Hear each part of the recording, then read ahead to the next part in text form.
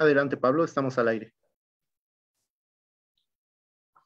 Muy buenos días a todos. Sean bienvenidos a esta conferencia que lleva titulada La exploración ultraprofunda de gas, lecciones aprendidas en las cuencas andinas de Bolivia, que nos hará el favor de impartir el ingeniero Tomás Zapata, director de exploración para las Américas de Repsol Exploración y Producción. A nombre de la Secretaría para el Desarrollo Energético del Gobierno de Tabasco y de la Asociación Mexicana de Empresas de Hidrocarburos, tenemos el gusto de participar con la MEXI en este primer simposio de energía, Jóvenes por el Futuro de la Energía. Para el desarrollo de la presente sesión, que nos hará el favor de impartir el ingeniero Tomás, eh, quisiera compartirles un poco del currículum y amplia trayectoria que ha desempeñado él en el sector energético durante más de 30 años. Él es eh, geólogo por la Universidad de Buenos Aires, donde también eh, impartió clases del año 2001 al 2011. Cuenta también con estudios de doctorado en la Universidad de Cornell en geología y tectónica y ha participado como especialista en geología estructural para estudios de exploración y ha publicado más de 40 papers relacionados con el tema. Para el desarrollo de esta sesión, el ingeniero Tomás Zapata eh, irá proyectando unas láminas eh, y él irá marcando las pautas en las que todas y todos los asistentes podrán ir eh, levantando la mano para eh, ir haciendo preguntas o plantear algunas dudas sobre lo que él vaya exponiendo. Entonces, sin mayor preámbulo, eh, le cedo la palabra al ingeniero Tomás, a quien le agradezco enormemente por la disposición de impartir esta conferencia y de compartir eh, experiencia y conocimientos con todo este amplio auditorio. Muchas gracias.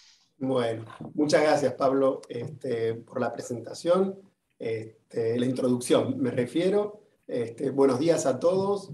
Este, le estoy transmitiendo desde Houston. Les estaba comentando anteriormente que, bueno, lamentablemente todavía las clases a nivel universitario y en general no, han, no, están, no, están normalizadas, sino por mí hubiera sido un placer poder ir y estar eh, enfrente de ustedes. Pero bueno, a medida que pase el tiempo y empecemos a normalizar todo lo, que es este, esta pandemia que nos está dejando. ¿Ya cambiaron la modalidad de las conferencias?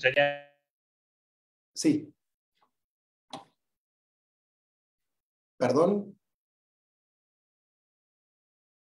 Ok, vuelvo. Entonces, les estaba diciendo que cuando tenga la oportunidad de hacerlo personalmente, pues iría a, verlos y lo haremos de esa manera. Pero bueno, hoy tenemos los medios para hacerlo de manera remota y lo haremos desde mi oficina aquí en Houston. yo ahora voy a compartir una presentación y, y vamos a ir charlando, la, la, dividí en varias fases, entonces a medida que voy terminando un, tema, los invito a que me hagan preguntas y al final de todo, por supuesto, me pueden preguntar y si hay otros temas que van saliendo de manera este, que están atados un poquito a esto, por ejemplo, la transición energética o cómo nos preparamos para el futuro que viene con la exploración verde, me lo pueden preguntar también. ¿okay? Y nos podemos salir un poquito de tema, pero hoy vamos a focalizarnos en la exploración ultra profunda que existe en ambientes onshore, fundamentalmente, y en los Andes, en zonas tectónicamente activas que se están deformando hoy, y cómo nos preparamos a lo largo del tiempo para poder ir a buscar estas acumulaciones de hidrocarburos, prospectos ¿no? exploratorios, Em, qué lecciones aprendimos, cómo se pueden aplicar en otros lugares y compartir algunos ejemplos del mundo, incluso de México. Así que bueno, sin más preámbulo, eh, les voy a compartir entonces la pantalla para que vean la presentación. Bueno. Entiendo que la están viendo, ¿no? La presentación. Sí. Sí, sí se ve. Perfecto. Vamos a empezar entonces. Este es el título. Hoy lo que vamos a hacer en la agenda es hacer una introducción, ¿okay? entender lo que es la exploración regional y la exploración cercana a yacimientos ¿no? Sobre todo hoy en día, la, idea es, eh, señores, el ámbito de transición energética, donde sabemos que el, todas las empresas que estamos trabajando para tratar de bajar nuestra huella de carbono y hacerlas neutras para el año 2050, es decir, todos los que estamos aquí queremos salvar el planeta y no queremos contaminarlo más con dióxido de carbono, todos tenemos que colaborar.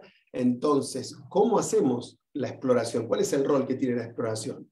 Básicamente es tratar de acercarse a los yacimientos, no alejarnos mucho, porque una acumulación lejana que involucra nuevas infraestructuras, mayor trabajo, tarda mucho en ponerse on stream, en producción. Entonces tratamos más de acercarnos en, en, las regiones donde ya hay producción. No quiere decir que no se haga la exploración de frontera, pero es mejor hoy acercarte. Eso es un reto que nos está imponiendo, como les decía, la transición energética.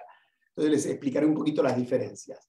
Ya después iremos de entrada a lo que es el bloque Caipipendi en Bolivia, en el caso de en las sierras subandinas de Bolivia, en los Andes bolivianos, donde la deformación hoy es activa. Eso ya entienden, para darles el concepto regional, estamos en una zona que está con deformación activa. De hecho, las instalaciones de yacimiento, de hecho, hay terremotos de vez en cuando y hay mucha deformación asísmica, un poco mismo de lo que pasa en México, de la misma manera. Entonces tenemos documentado incluso en las instalaciones, tenemos redes de GPS que miden la deformación a nivel asísmica y hay incluso acortamientos de más de un milímetro por año en esos lugares, con lo cual eh, es, es interesante verlo. Hablaré de un poco lo que es la estructura del yacimiento, Huacaya Margarita, que fue donde concentramos la actividad de exploración profunda, y luego trabajaré, desarrollaremos un poco el concepto del cabalgamiento de Mandiyutí, darle muchos nombres para que no, no este, se haga mucho lío en la cabeza, pero la idea era que todas las acumulaciones, las acumulaciones de gas estaban por encima de una falla regional, un cabalgamiento. Y la idea fue, bueno, vamos por debajo del cabalgamiento y lo que eso significa. Es lo que le llamamos la exploración mayúscula, exploration, capital X, eh, exploración mayúscula. Y hicimos un pozo hace dos años, tres ya, perdón, eh, fuimos ahí abajo, llegamos hasta casi 8.000 metros, encontramos el reservorio, encontramos la acumulación de gas, pero lo que el problema que tuvimos es que los volúmenes de producción no fueron comerciales. Produjo gas, produjo condensado, pero no mucho, no, no en volúmenes, en cantidades comerciales, con lo cual tendríamos que explicarlo por qué. Y nos dimos cuenta que existía un límite geomecánico para controlar este tipo de acumulaciones, que ya les digo que está más asociado a fracturamiento natural en rocas muy viejas. ¿Okay? No estamos lidiando con una secuencia terciaria o cenozoica o, este, eh, terciaria superior, como puede llegar a ser los depósitos que se encuentran en las actuales cuencas de antepaís, ¿okay? terciarias andinas, sino que estamos lidiando con cuencas muy viejas, rocas paleozoicas que han sido enterradas por más de 10 kilómetros y son durísimas. De hecho, los pozos aquí tardan más de un año en perforarse, porque se comen los trépanos. Vamos profuyendo, son muy duras y muy abrasivas las rocas. Bueno, a raíz de los descubrimientos que tuvimos, pudimos establecer un límite geomecánico que va a controlar esa comercialidad, esa es la hipótesis con la que trabajamos y pensamos que ya hay un límite por el cual no vamos a poder tener estas acumulaciones comerciales, se los voy a explicar por qué, y esto hizo que reclasifiquemos, esa es la lección aprendida, cuál es el, el, play para buscar gas, sobre todo en el submarino boliviano, reclasificamos este play para las acumulaciones profundas. Y por último, las conclusiones. Entonces, vamos adelante con la primera parte. Bueno, como les decía, esto representa un mapa regional de la parte sureste de Bolivia, donde tenemos, este, donde eh, hacemos un close-up, un acercamiento de esta región, están en el límite entre Bolivia y Argentina. Tenemos aquí en esta imagen satelital, vemos las serranías de las sierras subandinas, son largas, son estructuras anticlinales en superficie, ¿no? Que pueden tener más de 100 kilómetros. De hecho, cuando uno mira, eh, aquí están representados en rojo, algunas de estas serranías son grandes estructuras anticlinales, las hemos perforado a lo largo del tiempo. ¿no? Este, hay, aquí hay más de 100 años de, de exploración hecha, se han perforado y han encontrado yacimientos que son muy, muy extensos e incluso están comunicados. Creo que el, más, el que tiene mayor comunicación es este que está aquí, que viene desde solamente les tiro los nombres, San Alberto, Sabra, Altaú, San Pedrito, Macueta, llega hasta Argentina, hasta Ramos casi. Todo este tren tiene más de 120 kilómetros y está prácticamente todo conectado. Este, es, es muy amplio y se han encontrado también yacimientos en otros lugares, ¿okay? en otras regiones, no, no solamente relacionado con los anticlinales, sino con estructuras más profundas. Bueno, a raíz de un cambio de política del gobierno de Bolivia, permitió que se expandiera la actividad exploratoria a empresas extranjeras. En general, la, exploración de hidrocarburos estuvo controlada hasta la década del 90 por em, la empresa nacional que se llama IPFB, que ha hecho un muy buen trabajo, ha descubierto muchos yacimientos y este, eh, producido gas y condensado fundamentalmente en el país. Y bueno, hubo una eh, apertura un poco parecido a lo que sucedió en México hace unos años con la reforma energética y permitió que eh, se incentivara la industria privada y a raíz de eso se produjeron más descubrimientos. Como pueden ver acá la curva de Crimming, que es la curva acumulativa de, eh, descubrimientos de gas en Bolivia, en general había descubrimientos importantes hasta la década del 60 y empezaron a, a descubrirse más yacimientos asociados a reservorios profundos y a partir de la apertura se descubrieron en los últimos 20 años, más todavía se duplicó la cantidad de reservas que tiene el país en cuanto a este, recursos, perdón, reservas de gas. Y a partir de los 90 hubo grandes descubrimientos, campos gigantes como San Alberto, Margarita, Huacaya, San Antonio, Cahuasi, etc. Y aquí en Bolivia Repsol opera un campo, uno de estos descubrimientos que fue en la década del 90, este, que se llama Margarita o Acaya, ¿sí? que tiene unos 4 TCF de gas, reserva 2P y una producción cercana, 19 millones de metros cúbicos por día ¿sí? este, en gas. Entonces, eh, insisto, la, a raíz de esto hemos aprendido mucho, hemos hecho mucha exploración, fue muy, muy intensa la exploración, sobre todo hace unos 10 años atrás, donde tuvieron los máximos, los mayores descubrimientos, que bueno, le permitió al país también este, desarrollar infraestructura para poder exportar el gas, porque hay tanto gas que para consumo interno, este, el, consumo interno, bueno, lo fue este, abastecido y necesitaba eh, exportarlo para poder, eh, por supuesto, comercializar estas reservas. Así que esta es un poco la realidad, campos grandes descubiertos en un periodo de 20 años. Bueno, ¿cómo son estos campos? ¿Cómo funciona el play petrolero, el concepto exploratorio en Bolivia para estas acumulaciones profundas de gas? Es gas y condensado, pero fundamentalmente gas. ¿Mm? Bueno, hay varios sistemas petroleros. Esto es un resumen de la columna geológica, donde tenemos todas las rocas desde el Paleozoico hasta el Cenozoico. Y como pueden ver, hay, varios sistemas están este, interactuando, pero el más importante y el que vamos a hablar hoy es que el que tiene las mayores concentraciones o acumulaciones de gas, okay, de hidrocarburos de gas, es el devónico. Es un sistema devónico, paleozoico, paleozoico. Okay, no es terciario, no es cenozoico, como pueden ser acumulaciones que tenemos en México o en las cuencas offshore. Este es el sistema, la roca generadora, la roca madre es devónica y el reservorio es devónico. Entonces, aquí tenemos la columna esquemática, en general son todas secuencias clásticas, este, que representan um, short phase y eh, zonas de plataforma marinas, y la principal roca generadora se llama la arcilita o lutita de los monos, de la formación Los Monos, que está puesta aquí, que es de bónico medio superior. Y el reservorio principal se encuentra justo por debajo de la roca generadora, que se llama en este caso formación Huabampampa. Corresponde a las areniscas de formación Huabampampa, pero como pueden ver, hay también otras areniscas por debajo y por encima que también producen en general.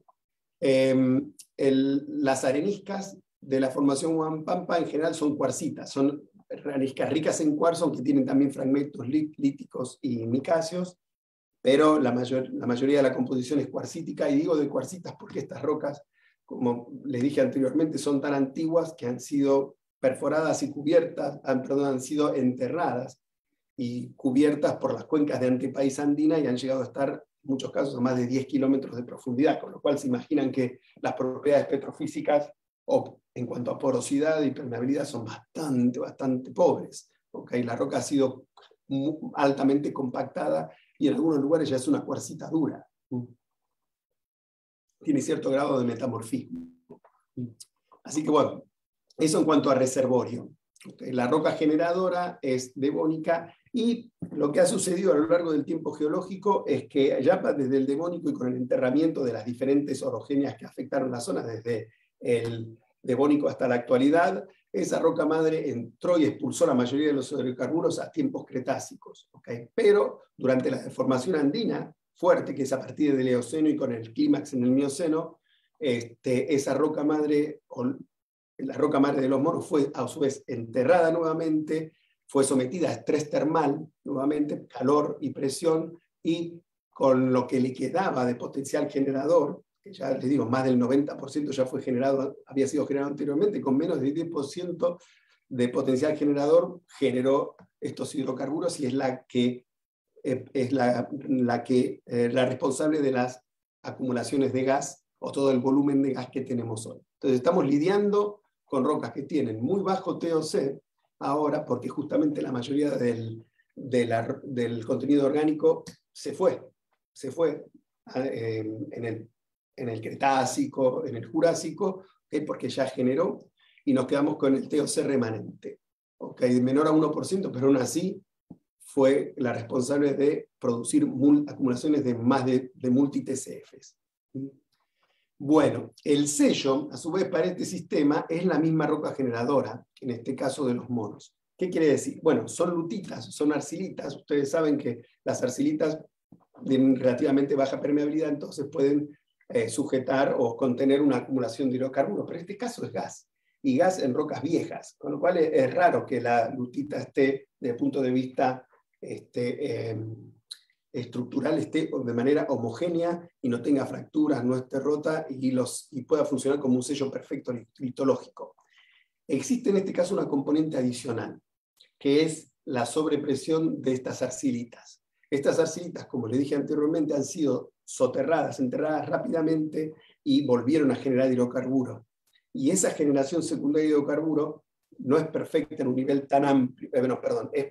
Eh, esa generación de hidrocarburos produce una expulsión y la expulsión no es perfecta. Ustedes saben que eh, em, volumétricamente la roca generadora se satura en su espacio poral en hidrocarburos que genera y después un 10-15% es, lo que, es lo que se puede expulsar, pero el resto se queda.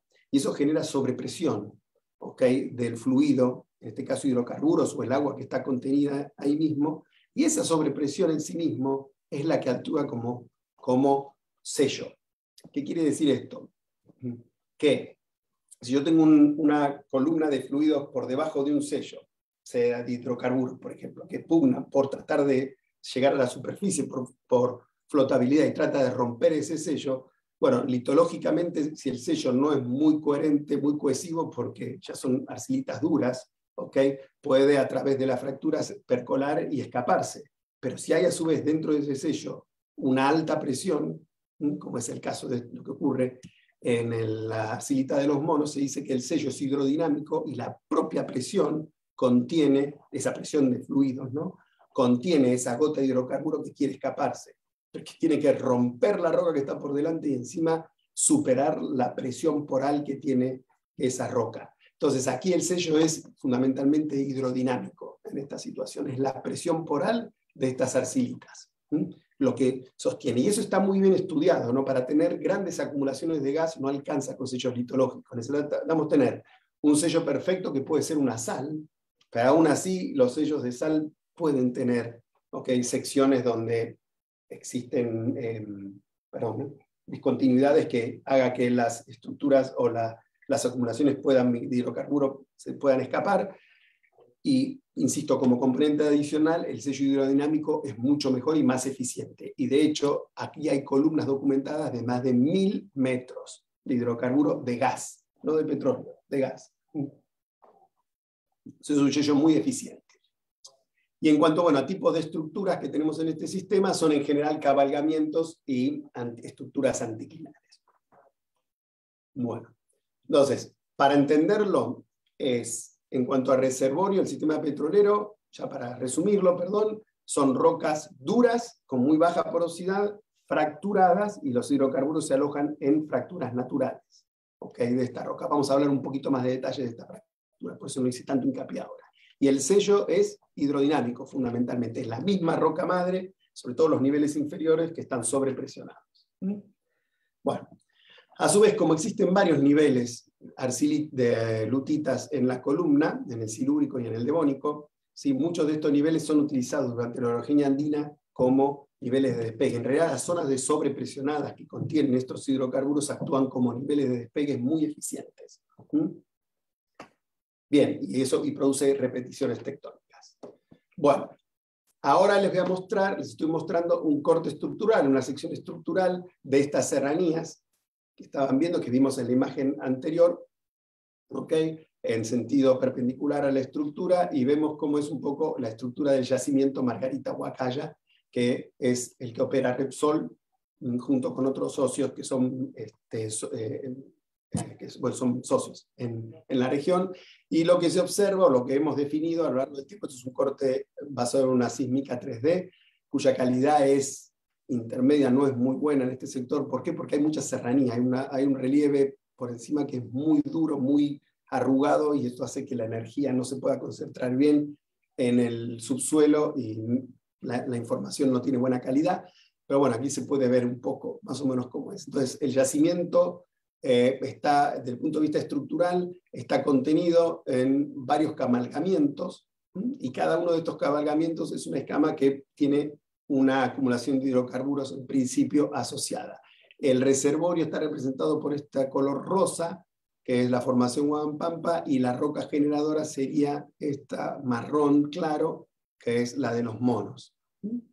Y aquí eh, se observa un cabalgamiento que corta toda la estructura y la arrastra hacia la superficie, y este cabalgamiento es el cabalgamiento de Mandiyuti, que les decía anteriormente. Y básicamente lo que se observa entonces es en la parte somera, estamos, ojo, estamos hablando entre 4.000 y 5.000 metros, existen acumulaciones de gas aquí en el campo y se ve que por debajo del, del cabalgamiento de Mandiyuti hay, habría una estructura profunda, pero está muy profunda. es el tema, 9.000 metros, no 18.000, 9.000 metros sería, y aquí estaría el reservorio ¿no? de la formación Guampampa, a esa profundidad, y no diría mucha está medio profundo, pero ¿tendrá algo esa profundidad? ¿Podrá producir? Bueno, eso es un poquito la, entonces, los límites y cómo está la estructura, cómo es la estructura geométrica de este campo. Con respecto a la historia de producción, lo que ha sucedido a lo largo del tiempo es que, bueno, este campo entró en producción en fases. Como pueden ver aquí, más o menos a partir del 2005 empieza a producir, 2004, empieza a producir caudales, bajos caudales o normales, y después, en fases, ¿no? a medida que se van agregando las instalaciones, el campo empezó a producir mm, y llegó a producir más de 20 millones de metros cúbicos por día. Y después está con altibajos, o la producción está más baja en la actualidad. ¿sí? Pero bueno, ¿qué ocurre? Este es el, es el típico curva de producción de un campo, de, un campo de, de petróleo, en este caso gas. Inicia con una producción baja, a medida que le agregan instalaciones, hace un ramp up, la producción sube, se mantiene en un plató y empieza a caer, simplemente porque, bueno, los yacimientos no son infinitos, ¿no? Son, este, empiezan a madurar y entonces hay que, mm, van bajando su producción, los pozos empiezan a producir menos, la presión del campo baja, de hecho, el campo inicialmente tiene una presión cercana a los 9.000 PSI en fondo y hoy, hoy rondan los 4.500, o sea, está muy depletado, ¿no? ya ha bajado mucho su presión este, pero sigue produciendo. Entonces, ¿qué se hace en ese momento? Bueno, se hacen proyectos, por ejemplo, de compresión para poder tratar de producir más gas, colectar más gas, comprimirlo y entonces poder exportarlo. O, este, bueno, se buscan optimizar, hacer campañas de workover, entrar en los pozos, abrir horizontes nuevos. Y no, normalmente este, lo que sucede cuando ya no se puede aumentar la producción, lo que nos piden a los exploradores es, bueno muchachos, ¿tienen algo más, algún volumen cercano para agregar? Bueno, y ahí atacamos nosotros, volvimos a entrar. El último descubrimiento de este campo lo habíamos hecho 10 años atrás, había sido el Pozo Huacaya, y exploración se retiró porque ya había, había que producir. ¿no? Entonces, bueno, después de dos años volvimos, nos llamaron, volvimos y evaluamos la situación.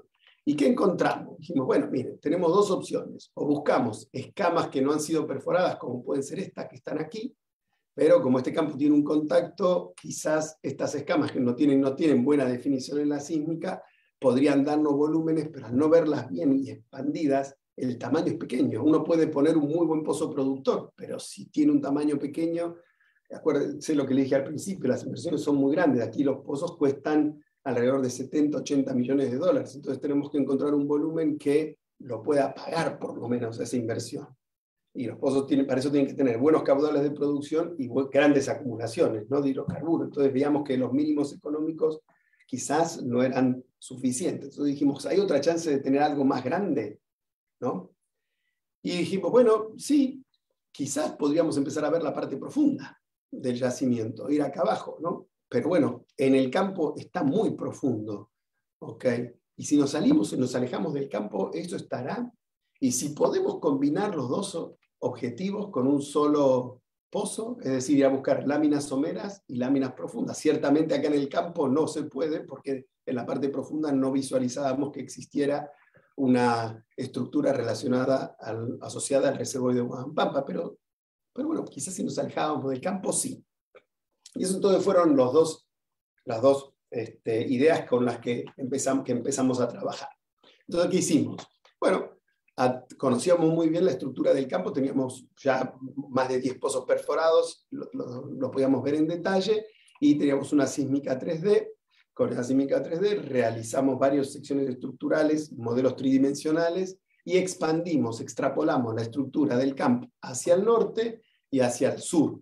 Y aquí vemos estos modelos tridimensionales con diferentes horizontes de la, del reservorio de la formación Guadampampa y vemos aquí en rojo la falla de Mandiyuti que les decía, esta de aquí, que divide la zona somera de las escamas que se repiten de la estructura profunda. Este, esto trataría de estar representando la estructura profunda.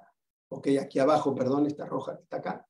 ¿Mm? Y bueno, hacia el sur vimos que podíamos quizás, y esto ya es un esquema con una sección sísmica 2D, un esquema estructural, pensábamos que podríamos tener la combinación de ver camas, escamas someras y una escama profunda. Dijimos, bueno, ya teníamos un pozo perforado, que lo había perforado IPFB, que había encontrado un poco de evidencias de hidrocarburos, dijimos, bueno, si profundizamos estos pozos, haciendo reposo al lado, quizás llegásemos a ver el reservorio. Somero aquí está representado por este color rosa fuerte, ¿ok? ¿Sí? Y si seguimos perforando a más o menos 6.000 metros, puede ser que estuviese la estructura profunda. Entonces vamos por la estructura somera y quizá la estructura profunda. Y el mayor reto era cruzar esta falla, que es la falla de Mandiyuti, aquí en el sur de la estructura, como está puesto aquí en rojo, donde está el campo. Fíjense que es un poquito diferente, ¿no? lo que pensábamos como la estructura, que es una manera conceptual. Y aquí hacia el este tenemos una estructura que produce gas, que se llama San Antonio, como esta es típica, no es igual a lo que vemos en, el yacimiento, en la zona del yacimiento Margarita, este es el típico anticlinal con la estructura profunda que produce gas. Aquí entonces pensamos que podíamos tener, insisto, los dos objetivos para cumplir. En el área sur, más o menos 40 kilómetros, se llama Boyú, la zona. Bien. Con respecto a lo que, es el sistema petrolero y la migración de hidrocarburos y acumulaciones, nosotros entendemos y ya conocemos a raíz del el conocimiento que este, hemos adquirido a lo largo de los años, ya insisto, más de 100 años de historia, la roca generadora, que es la formación Los Monos, que está representada aquí, es el nivel generador, tiene varios niveles generadores, y cuando es enterrada, esto es una cuenca antepaís, que se va deformando, vienen los depósitos terciarios, empujan hacia abajo la roca devónica, que ya produjo petróleo durante el Cretácico y anteriormente, y con lo que le queda remanente de contenido orgánico, puede, empieza a generar hidrocarburo y migra ese hidrocarburo hacia dónde? ¿Hacia dónde migra el hidrocarburo siempre que se genera en la roca? Hacia la zona de menor presión relativa. Normalmente es hacia arriba, menor presión de fluido relativa.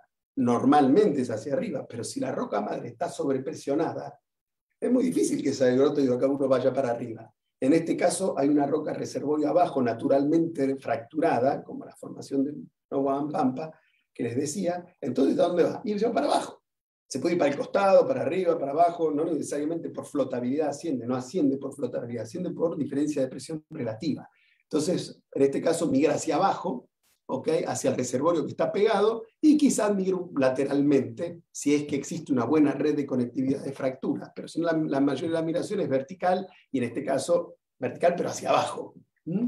Y lateralmente, bueno, existe una cocina activa aquí y existiría otra cocina activa acá, son los pots, y lateralmente a través de estos reservorios de muy baja permeabilidad, pero bueno, tienen cierta permeabilidad y porosidad, el gas migra hacia arriba, lateralmente, y llenaría los reservorios. ¿Cómo sucede, por ejemplo, en esta anticlinidad, que no está señalada aquí la acumulación, pero aquí hay un pozo que tiene producción y eh, tiene un descubrimiento? Entonces, bueno, pensábamos que ciertamente para el sistema somero produce y funciona muy bien, tenemos un yacimiento, y para el sistema profundo dijimos, bueno, es la misma cocina lo que llena el, el, sistema somero, debería funcionar para el sistema profundo.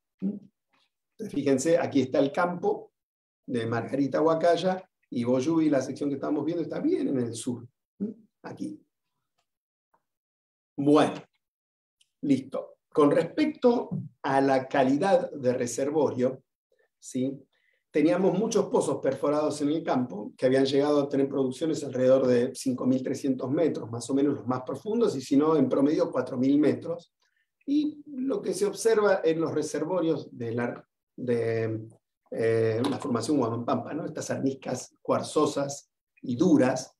Eh, se observa que la porosidad es muy baja, lo que tomamos por análisis de de testigos corona ¿okay? y análisis de log, de perfiles de pozo, de grafías. Y fíjense, sobre todo con los datos duros ¿no? de las coronas, es difícil ver aquí y poder ver una correlación entre lo que es porosidad y profundidad. ¿okay? Eh, bueno, uno ve aquí que las relaciones, fíjense, siempre tienen la misma porosidad, o sea, van bajando, pero están siempre a la misma profundidad y hay un, un rango en diferentes pozos, ¿no? No, no se ve una, correlación clara. Y bueno, si estuviésemos, les haría preguntas si estuviéramos en una clase normal, a ver qué puede ser, pero esta vez se la voy a contestar yo y dejamos un poquitito ahora cuando termino de explicar el sistema petrolero para que me hagan ustedes. Pero la pregunta es, ¿y por qué pasa esto? ¿Por qué no vemos una correlación clara entre porosidad y profundidad? Bueno, volvamos para atrás un poco. Señores, y esto es lo que tenemos que cambiar nuestro mindset, nuestra forma de pensar. Estamos lidiando con rocas, primero que son viejas, no son terciarias, no son jóvenes. Segundo, estas rocas vienen de acá abajo, vienen de haber estado enterradas a 8.000, 9.000 metros, con lo cual la porosidad, una vez que se va la roca compactando estas areniscas, se van compactando, se van soldando, ¿ok? Por más que las llevemos después a, a, superficie o cerca de la superficie, ya esa porosidad no se va a descompactar. Ya la compactación generó la, disminución de porosidad y no se va a ganar porosidad, ya son rocas viejas y cementadas. Entonces, claro, esto produce que no haya una correlación directa entre presión y profundidad. Son, hoy estamos lidiando con rocas que vienen de muy de abajo. ¿okay? No estamos perforando en una cuenca sin deformación. Estamos perforando una cuenca deformada y los reservorios no están en la posición donde, a la máxima enterramiento que habían llegado. ¿okay? Y lo que sí se observaba, sin embargo, tanto en los datos de log de perfiles como en datos de, de core, que hay un límite de porosidad mínima. O sea, no se llega al cero, se llega a un, a un 3%, más o menos.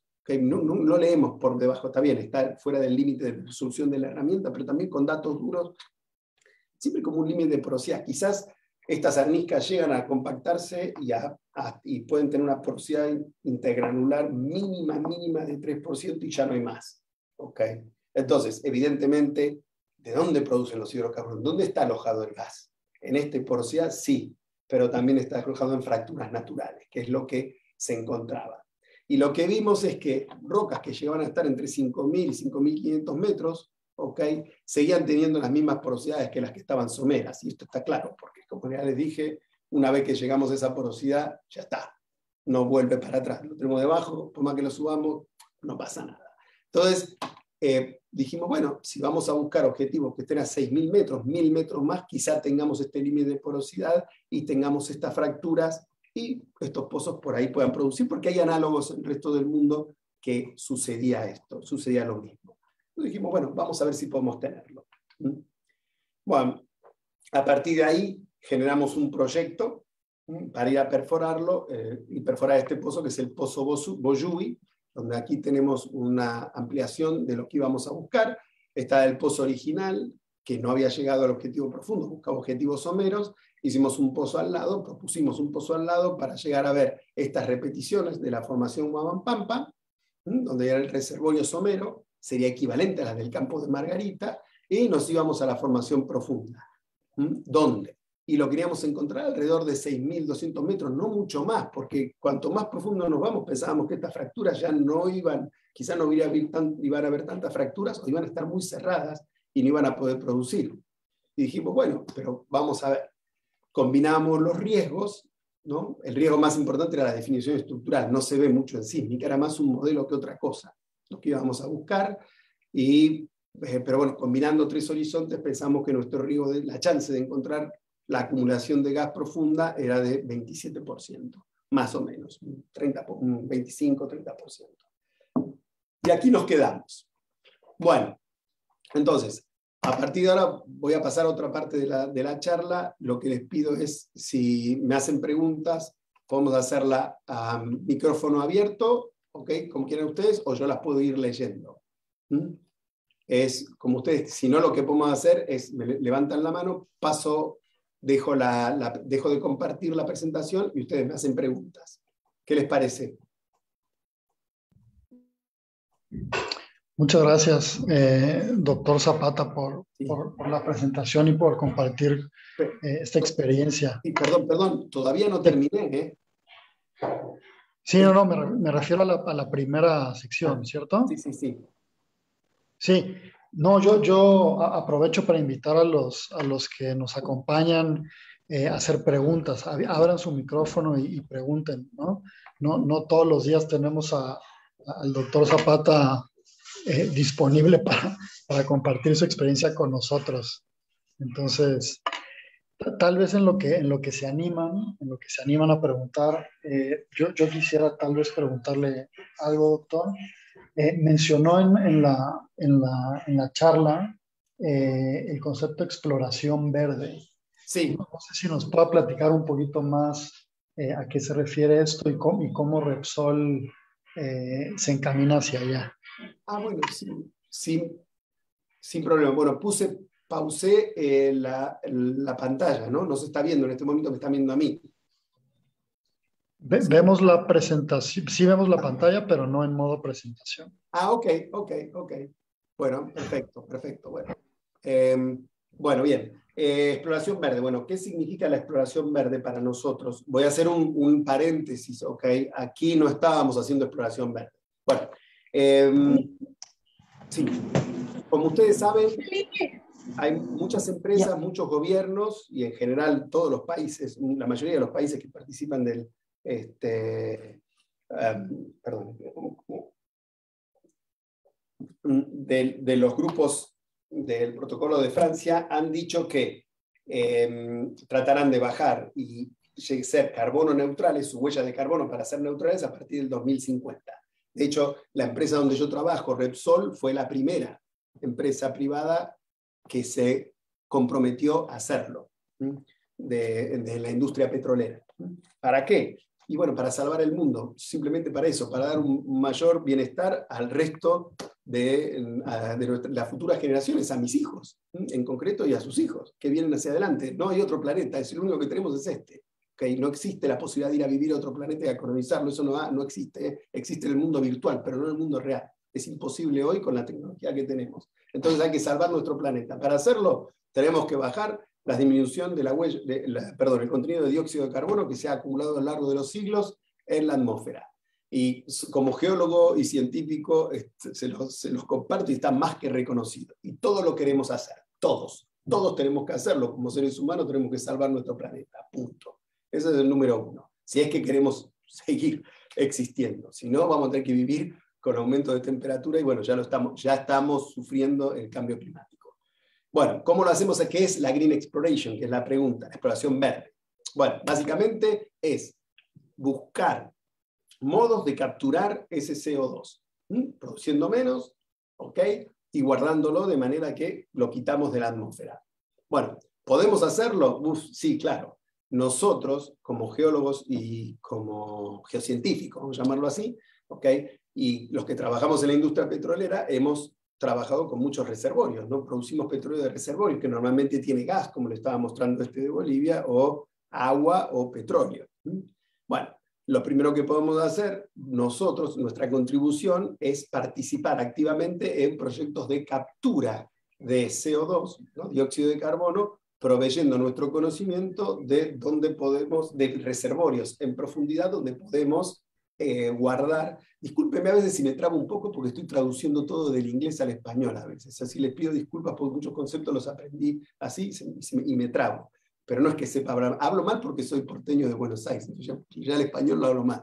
Pero a veces me trabo un poco cuando, cuando traduzco y, y les pido disculpas. Bueno, como les decía, eh, lo tratamos de guardar ese dióxido de carbono, capturarlo y guardarlo en el subsuelo. Entonces, nuestro rol como geocientíficos es explorar reservorios, eh, en búsqueda de reservorios que puedan contener ese CO2 que le vamos a introducir, a inyectar. Normalmente se busca reservorios con agua salina para que pueda disolverse el dióxido de carbono en agua o a veces reservorios que tengan buenos sellos como sal, para poder guardar ese CO2, o a veces se guarda hidrógeno en eso, para guardar el hidrógeno, que es una, una fuente de energía limpia también. Y la otra vía que tenemos para explorar como geocientíficos okay, y geólogos de exploración petrolera y reconvertirnos un poco de esa manera es trabajar en lo que es el, la industria geotermal. lo que hacemos es nosotros a través de los pozos que hemos perforado, los exploradores, no en muchas áreas, tenemos mucho control de las temperaturas ¿okay? y de los gradientes geotérmicos en diferentes lugares. Entonces conocemos si realmente esa fuente de calor, que es el calor terrestre, se pueden aprovechar en pozos viejos o tomando la información de pozos viejos y podemos utilizarlo para calentar agua o producir agua que ya estén en, estos pozos con alta temperatura. Por ejemplo, estos pozos ultra profundos tienen en fondo temperaturas de más de 180 grados, no Fahrenheit, 180 grados Celsius. Esa agua llega a la superficie muy caliente y se puede utilizar para mover una turbina, generar vapor y generar electricidad. Y si uno genera electricidad, por ejemplo, en un campo que produce, en vez de utilizar eh, la electricidad para producir los campos proveniendo de una, un motor, ¿no? lo utiliza con un generador de una turbina de vapor, está bajando la huella de carbono. Entonces nosotros como geocientíficos podemos trabajar en básicamente en tres proyectos, en guardar CO2 en profundidad o para hacer también EOR, que es em, mezclar el, el, CO2 con petróleo en campos de petróleo que lo fluidizan y lo pueden hacer producir un poco mejor, o sea, reinyectarlo y circularlo al CO2, capturándolo de la atmósfera, ¿no? Bueno, dónde lo capturamos. Capturándolo y, o si no, también usando eh, energía geotérmica, participando en proyectos de energía geotérmica. Como geocientíficos, trabajar con generadores eólicos, y bueno, mucho no podemos ¿no? contribuir. Podríamos, pero bueno, no mucho. O con paneles solares, no tampoco. ¿no? nosotros no producimos paneles solares, o por lo menos no es nuestro trabajo. Que entonces, fundamentalmente, eh, los geólogos o los geocientíficos de Repsol nos estamos, de hecho en mi grupo generamos uno en, mi área generamos un grupo de energías verdes donde trabajamos en esas tres cosas. Inyección de CO2 este, y, IOR, que es recircular el, CO2 en, en, yacimientos que producen, y en energía geotermal. Y, estamos participando en diferentes proyectos. Bueno, un poco para, para ya cerrarlo y termino acá. ¿eh? La fuente de CO2 normalmente es la que proviene de grandes producciones de CO2. Nosotros, los proyectos que participamos son volúmenes grandes, no lo capturamos de la atmósfera. No, no, los, tomamos con emisores de CO2, que pueden ser refinerías, ¿no? y lo que se hacen es, se le pone una torre que cubra, un cap, iba a decir, que cubra, las chimeneas que producen CO2, se captura el CO2 y se inyecta porque eso ya existen proyectos acá en Estados Unidos que está, está eh, trabajando de esa manera. ¿no? Ustedes saben que una de las principales limitaciones que tenemos para la captura de CO2 es el volumen de CO2 tomándolo del aire. Está muy, muy diluido. Entonces hay que, habría que tomar grandes cantidades de aire, comprimirlo, separarlo y es muy costoso hacer eso. Pero bueno, ya, ya hay, hay proyectos, hay, hay otros tipos de energías renovables que se dedican a eso. Nosotros como geocientíficos no participamos de eso. Bueno, no sé si le contesté la pregunta. Sí, sí, totalmente. Muchas gracias, doctor. Eh, ¿hay, ¿Alguien más? A ver, por aquí creo que tenemos una. Sí. Eh, Miguel RH, eh, si, si, si, gustas abrir el micrófono, adelante.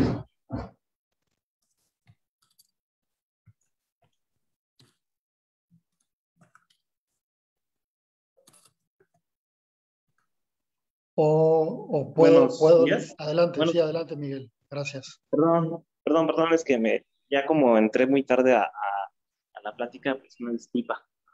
Este, una pregunta es de que, por ejemplo, mm, ¿bajo qué condiciones se, se depositaron estas, este, las rocas de, que formaron el, el, reservorio? Sí, perfecto, Miguel. Sí, incluso me lo habías, me lo habías, este, me lo habías este, explicado, me lo habías preguntado también por la parte de Q&A.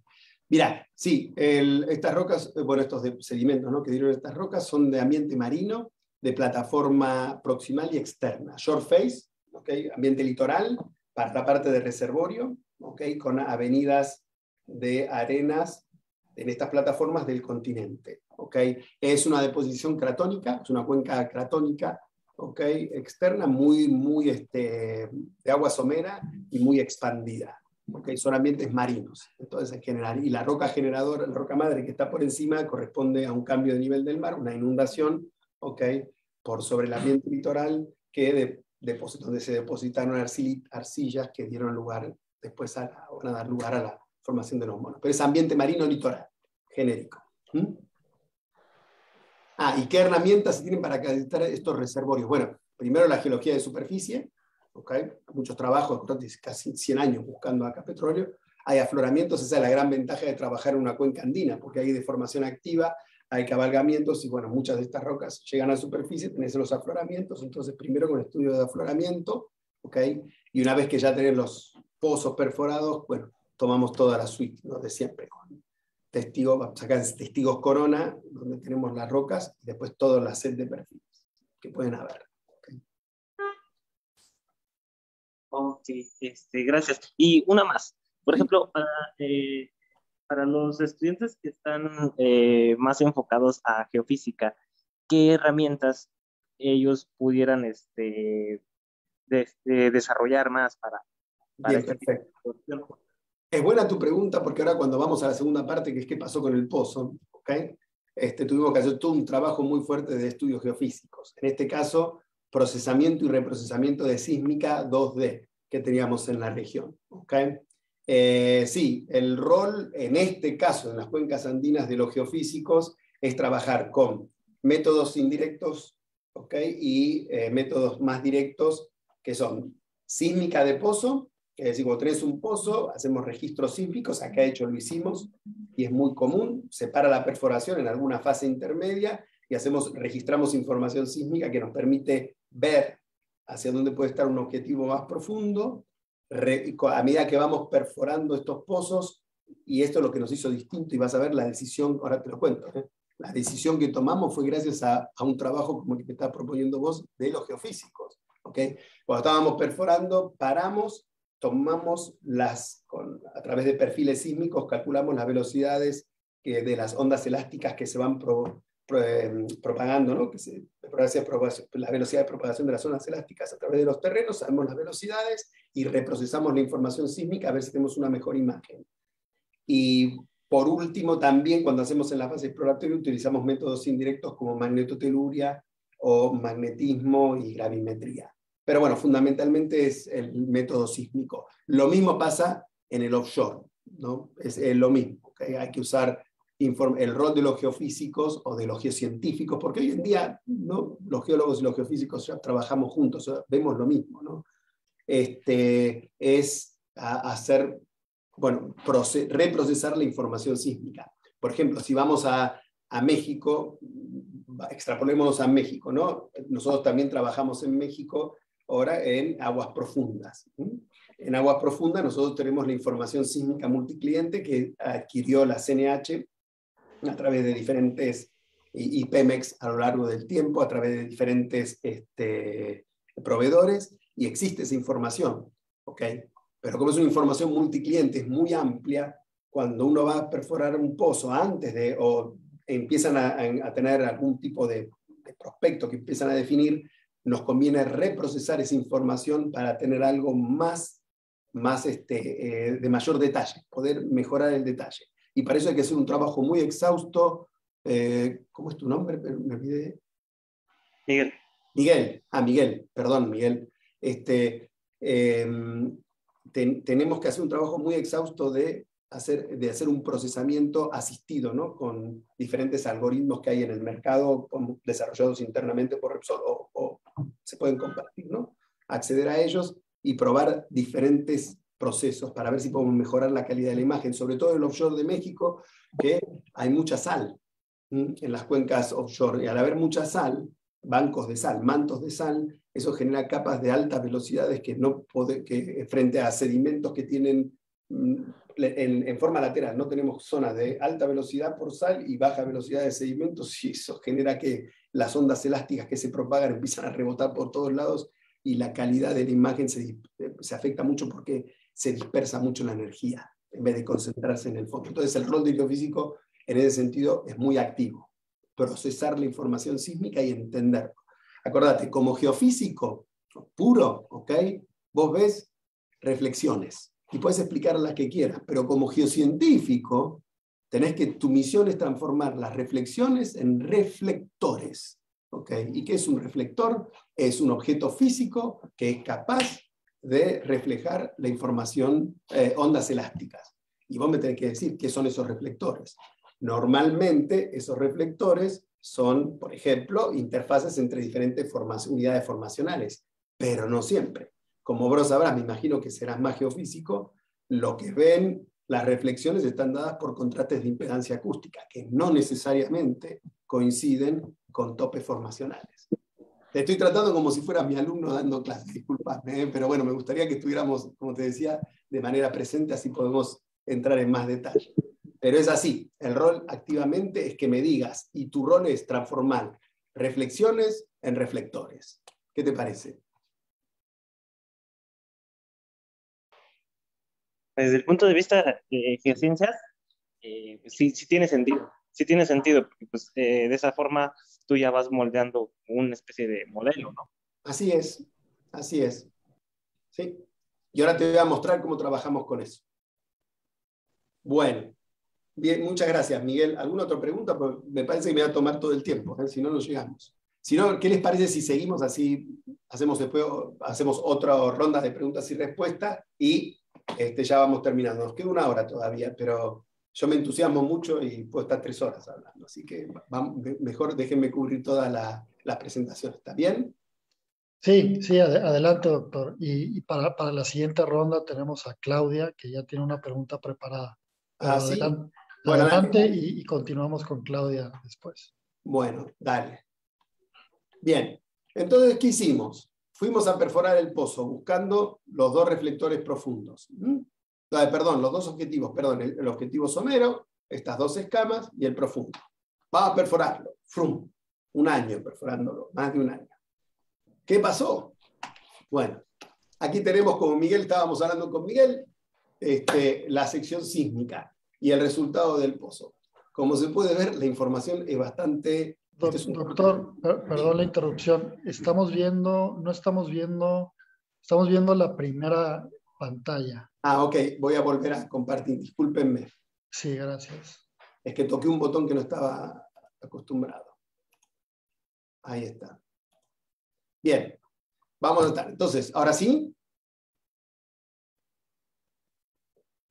Listo, ahí se, ve, bien, gracias. Perfecto, bueno, vamos. Entonces perforamos. ¿Y qué pasó?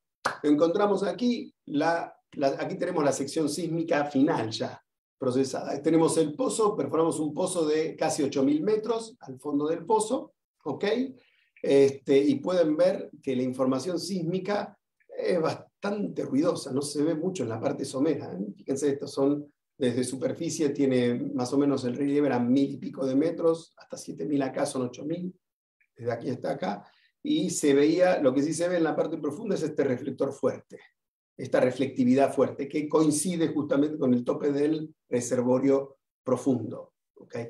En la parte somera no se ve mucha información, se puede tener una idea aquí de que hay información que va llegando hacia el pozo, pero en lo que es el pozo se ve muy poco, y encontramos fallas, que podía ser esta gran falla de Mandiyuti, que quizás es este el reflector de la falla en sí mismo, y por debajo encontramos la estructura acá. Pero ya les estoy diciendo, fíjense dónde están, está más de 7.000 metros. Y yo les había dicho antes que lo íbamos a buscar en 6.000. Lo encontramos más de 1.000 metros más profundo de donde esperábamos. ¿Por qué? Y porque la información que teníamos no era muy buena y cuando nos encontramos, cuando empezamos a perforar y encontramos otra cosa menos lo que íbamos buscando y reprocesamos la información sísmica, como le estaba diciendo a Miguel, nos encontramos que el reflector, lo que interpretábamos, que este reflector estaba de madera somera, en realidad estaba más profundo. Y gracias a eso pudimos tomar la decisión de seguir perforando. Bueno, aquí está el resultado. Ahora se los explico un poquito más en detalle. Esto es lo que buscábamos. Esto es lo que encontramos. Fíjense, las escamas someras, los objetivos rosas de la formación Guampampa, no están. Nunca estuvieron. ¿Ven? No los encontramos. Se quedaron atrás. Estas dos escamas, estas escamas que nosotros pensábamos que traían, como pasa en el yacimiento de Margarita, las traían la, hacia superficie, ¿no? Las formaciones devónicas de Guampampa no llegan hasta el pozo, se quedan por detrás. ¿okay? Y lo que tenemos son repeticiones de secuencias carbónicas carbonífera, fundamentalmente. El corrimiento de Mandiyuti lo pudimos pasar y por debajo nos encontramos más repeticiones tectónicas. Y el reservorio profundo lo encontramos aquí, pero mil metros más bajo de donde estábamos. Y gracias un poco a lo que estábamos hablando con Miguel recién, ¿no? Eh, cuando llegamos, lo que nos pasó fue que empezamos a perforar y cuando llegamos a, esta profundidad de 6.000 metros, dijimos, bueno, ¿qué hacemos? No, no, no está el reservorio. ¿Qué vamos a hacer? Ya abandonamos el pozo y nos vamos. No lo encontramos ni arriba y abajo dónde está. Bueno, en ese momento tomamos un registro sísmico vertical, tomamos más información sísmica, reprocesamos la información sísmica y nos dimos cuenta que había una reflectividad acá abajo que era el reservorio. Y dijimos, señores, perforamos mil metros más. ¿Ok? Tomamos la, decisión de hacerlo. Y bueno, lo encontramos. Pero bueno, costó mucho hubo, que hubo que redefinir el pozo, eh, cambiar las condiciones de perforación, todo fue un reto realmente, pero llegamos. ¿ok? Entonces, bueno, uno dice, uh, pero le erraron por mucho, y sí, la verdad que sí, pero es que la información que teníamos, esta reflectividad que veíamos acá y que interpretábamos como el, el Pampa, no era correcta, estaba mal focalizada, teníamos un modelo de velocidad incorrecto. Básicamente lo que les digo es esto, miren, si las rocas son, estas rocas son muy profundas, devónicas, son duras, tienen alta velocidad, toda la estructura la tiran para arriba en tiempo y después en profundidad, pero en realidad la realidad es que las velocidades eran mucho más bajas, había reservorios más soft, más blandos, y nos empujó todo para abajo. y bueno, pasa. Bueno, no sucedió. Pero bueno, durante la perforación encontramos el reservorio, encontramos manifestaciones de gas, y sí, pero costó mucho. Fíjense, empezamos a perforar, cuando estábamos perforando dentro de la formación los monos, tuvimos, encontramos la zona sobrepresionada, ¿sí? Este, donde tuvimos que densificar el lodo casi hasta 16 ppg, que es mucho, eh, realmente es mucho, 16 eh, libras por galón, y cuando a medida que nos fuimos acercando hacia el reservorio, la presión del reservorio, bueno, bajó. Aquí ya está la entrada a la formación Pampa y fíjense, pasamos de 16 a perforarlo creo que con 12, más o menos, sí, 12 y medio, 12 y pico. Esto les está mostrando lo que les decía antes. ¿ven? El sello de la formación Los Monos está altamente sobrepresionado. ¿ok? Y cuando llegamos al reservorio, hay mucha diferencia. Acá estamos hablando de más de 4.000 PSI de diferencia. Entonces, si acá se produce hidrocarburo, estamos tomando el ejemplo este vertical, la columna vertical del pozo, esa gota de petróleo, ¿se va a ir para arriba o se va a ir a la zona de menor presión que está abajo? Se va para abajo. ¿ok? Y aquí lo podemos documentar. Bueno, el pozo encontró la formación Pampa, encontró varias areniscas en el medio. Fíjense, aquí tenemos datos de cuttings, los recortes, ¿no? donde veíamos que está muy cerrada la arena, no le vemos porosidad, muy baja esa porosidad. Este, encontramos algunos crecimientos de cuarzo, como se ven acá, lo cual nos está indicando que había fracturas y que estaban abiertas. ¿okay? eh, teníamos buenos rastros en algunos lados, no había fluorescencia directa de hidrocarburos y destilados, ¿ok? y algún, en algún lado la arenisca era limpia, en algunos otros lados donde hay más siltón, bueno, más finas y más, más sucias. Pero bueno, encontramos 300 metros de reservorio, encontramos una acumulación de columnas de gas, en principio saturaciones de gas del orden de 200 metros, ¿ok? porosidades muy bajas, pero debería haber habido este, gas en el sistema e incluso hidrocarburo líquido condensado, en este caso. ¿no? no vimos un contacto de agua, como se puede ver en un pozo del campo. Fíjense, esta es la columna de resistividad, como aquí hay un cambio de la resistividad que marca el contacto en una, en una zona arenosa, tenemos el, el, cambio entre el contacto entre gas y agua. Pero bueno, aquí no, no lo pudimos ver en esta columna. ¿qué hicimos? Hicimos un test. Tomamos las muestras del el cutting, fíjense, para la, parte del sistema petrolero, eh, pudimos ver en estos crecimientos de cuarzo, a medida que van creciendo, que crecieron, tomaron el fluido que estaba en los alrededores, hicimos el estudio de inclusiones fluidas y pudimos ver y determinar en qué tiempo se generó el gas del hidrocarburo, y esto nos sirve mucho ¿no? para ver los pulsos de migrator, migratorios, y son consistentes, son coetáneos con la deformación de la estructura, ¿okay? con lo cual estaba muy bien. Eh, confirmamos la presencia del sistema petrolero activo, pero en este, momento, en este caso, y bueno, hicimos el ensayo, lo abrimos el pozo, fue difícil hacerlo, estuvo generando gas, pero los volúmenes fueron muy bajos y no reaccionaba el pozo a diferentes cambios de orificio. Esto mostraba que había este, realmente las, las fracturas que estaban produciendo no podían enviar buenos eh, caudales comerciales de gas, ¿okay? incluso no eran muy sensibles. Después cuando abrimos el tubing donde pusimos el packer. El packer lo tuvimos lamentablemente para, un poco más para los ingenieros, no tuvimos que poner mil metros por arriba del reservorio, pero ¿por qué? Porque hemos diseñado un pozo para buscarlo a 6.000, no a 7.000. Entonces no teníamos tubing, no teníamos materiales, ¿ok? Y aún así todo el tubing se llenó porque para poder controlar el pozo y que no tuviera pérdidas cuando lo perforamos tuvimos que meter mucha calcita, muchos materiales para evitar que esas fracturas y el pozo se, bueno, tuviera pérdida, este, perdió, perdió, este pozo perdió más de 2.000 barriles cuando entramos en reservorio porque lo fracturamos con el peso de la columna de lodo con lo que lo perforábamos, tuvimos que pelearla bastante y después devolvió todo el, material ese por dentro del tubing en la cola del packer. Estábamos viendo todos estos cigarros de toda la varitina que se utilizó para meterlo y controlar el pozo, con lo cual estuvo muy taponado todo, pero bueno, aún así pudo surgir gas y y condensado, pero no en caudales comerciales. Y lo que más nos sorprendió fue que cuando hicimos la, la, cromatografía de este gas y de los líquidos, nos encontramos que tenemos el mismo gas, el mismo gas que, produce 40 kilómetros al norte en el campo. Así que eh, en ese sentido comprobamos que estas acumulaciones profundas pueden producir, pero no, no a volúmenes comerciales, a caudales comerciales y que el sistema petrolero somero es el mismo que gobierna el sistema profundo. ¿Descubrimos gas? Sí, descubrimos gas. ¿De manera comercial? No, lamentablemente no. Fueron muy bajos caudales y con lo cual no lo pudimos poner a producir. Quizás en un futuro, eh, eh, no, si cambiasen las condiciones comerciales y todo, se podría, pero hoy en día no. ¿Mm? Entonces, ¿qué pensamos que sucedió? ¿Okay? Bueno, primero, eh, nosotros tenemos que entender que este reservorio, ¿ok? Formación pampa rocas devónicas duras, ¿no? Produce por fracturas que son naturales, ¿ok? ¿Y a qué están asociadas estas fracturas naturales? Bueno, en primer lugar, eh, nosotros a lo largo del tiempo y utilizando los datos de los pozos y los datos de afloramiento, establecimos reglas geomecánicas para, para tratar de entender como geocientíficos cuál es el origen de esta fractura, cuál sería el origen de esta fractura. Y bueno, el, de las fracturas naturales, ¿no? Bueno, en el caso entonces del subandino boliviano y en general la tectónica andina, en general cuando uno va a buscar reservorios fracturados, bueno, primero que nos encontramos es que si estas rocas están, han sido enterradas y soterradas a una profundidad muy grande, como fueron en este caso 10 kilómetros o más, bueno, el primer patrón de fracturas que va a poner es que se van a, formar es el que esté relacionado al soterramiento.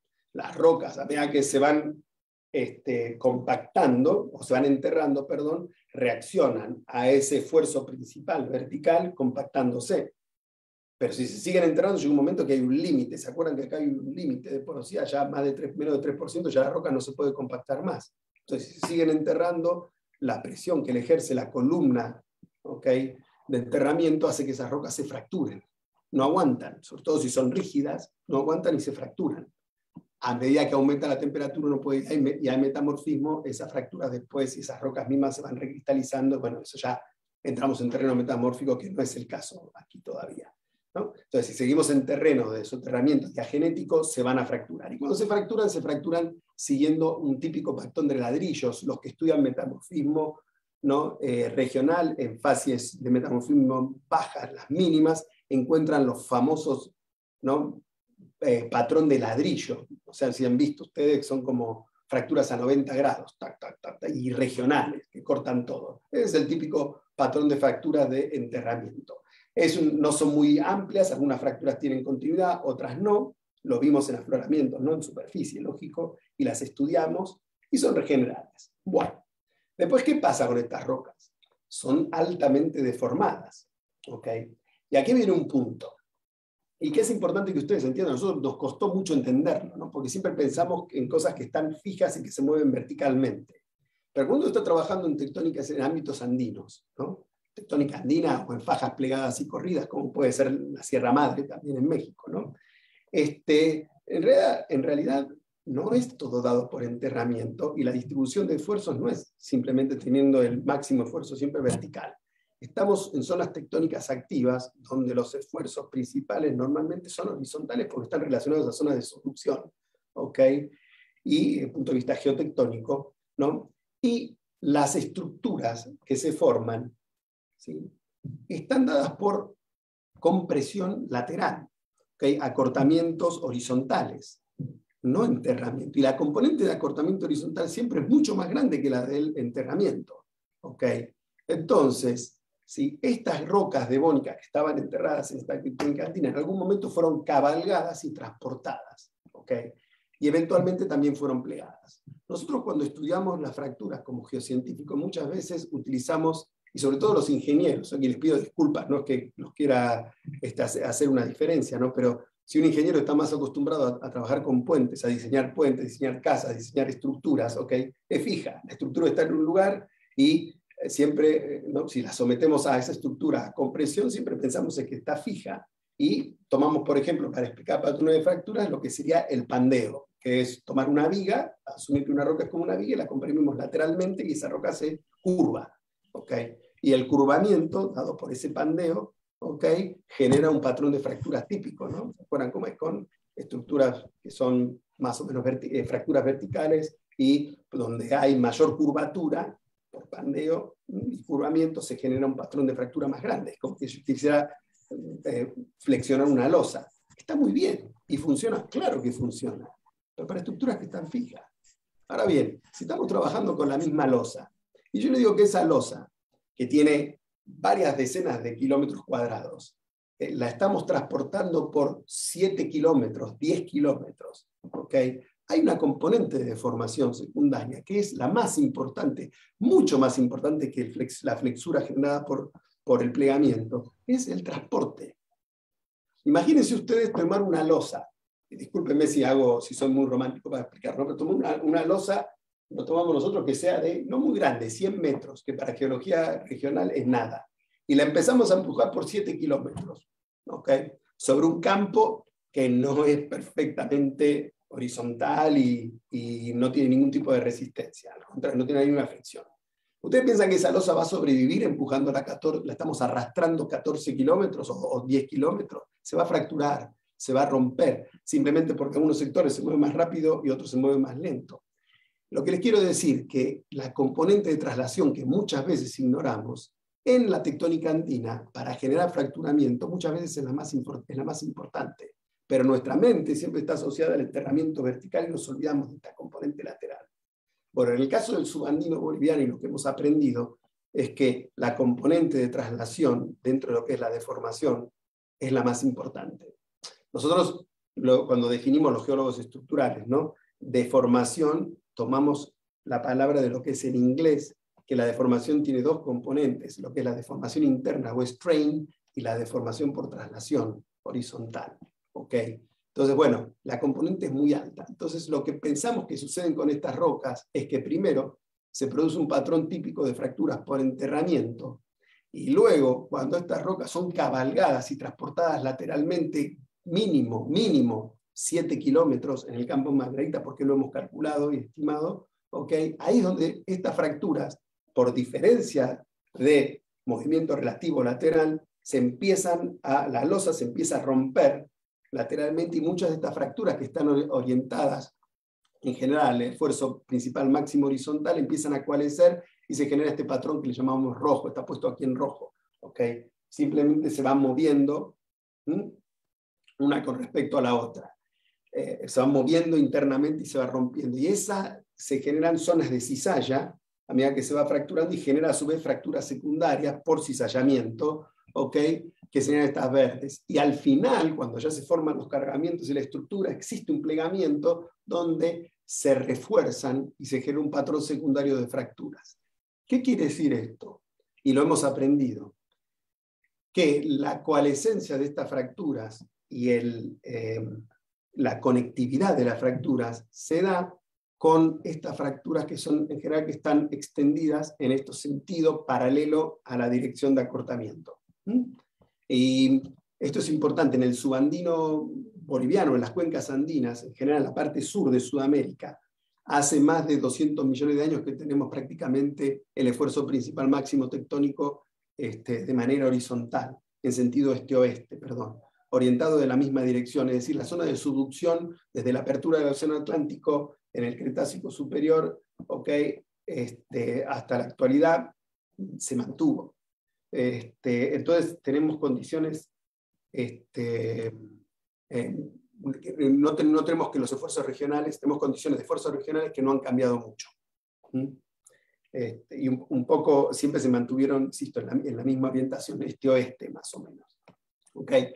Entonces, bueno, estas fracturas orientadas en esta dirección son las que generan mayor conectividad. Y al final, al final de la vida, de esa formación de la estructura, se generan algunas estructuras relacionadas con el, fracturas relacionadas con el plegamiento. Entonces, ¿qué quiere decir esto? que donde perforemos un pozo dentro de esta losa, si esta losa ha cabalgado lo suficiente, va a estar fracturada, ¿ok? Probablemente. ¿Mm? Bueno, y eso es lo que aprendíamos y eso es lo que conocíamos.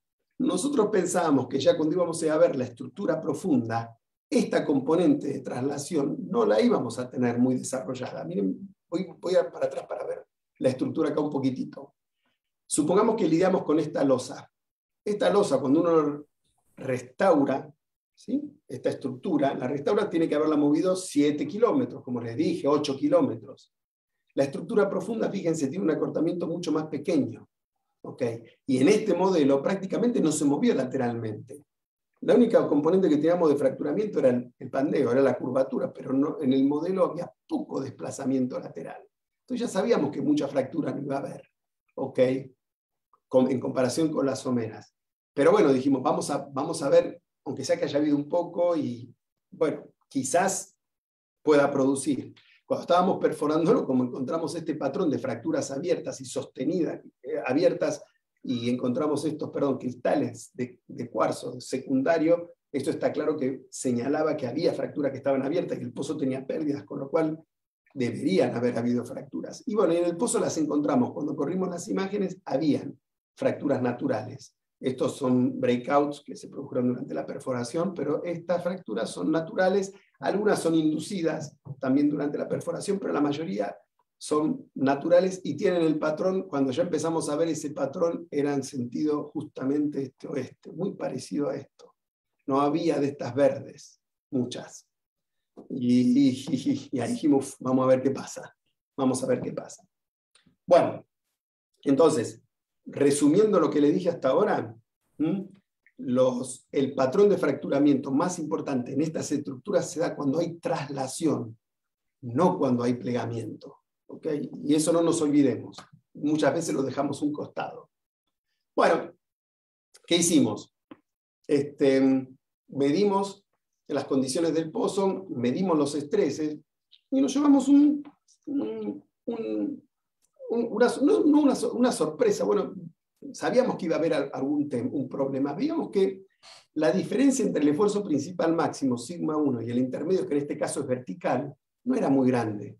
No era muy grande. Y esto es muy distinto a lo que se ve en los pozos someros. Y ahí nos dimos cuenta que, eh, evidentemente, las presiones que estamos teniendo ahí abajo, a pesar de que está sobrepresionado el fluido dentro de la formación Pampa, no eran muy grandes.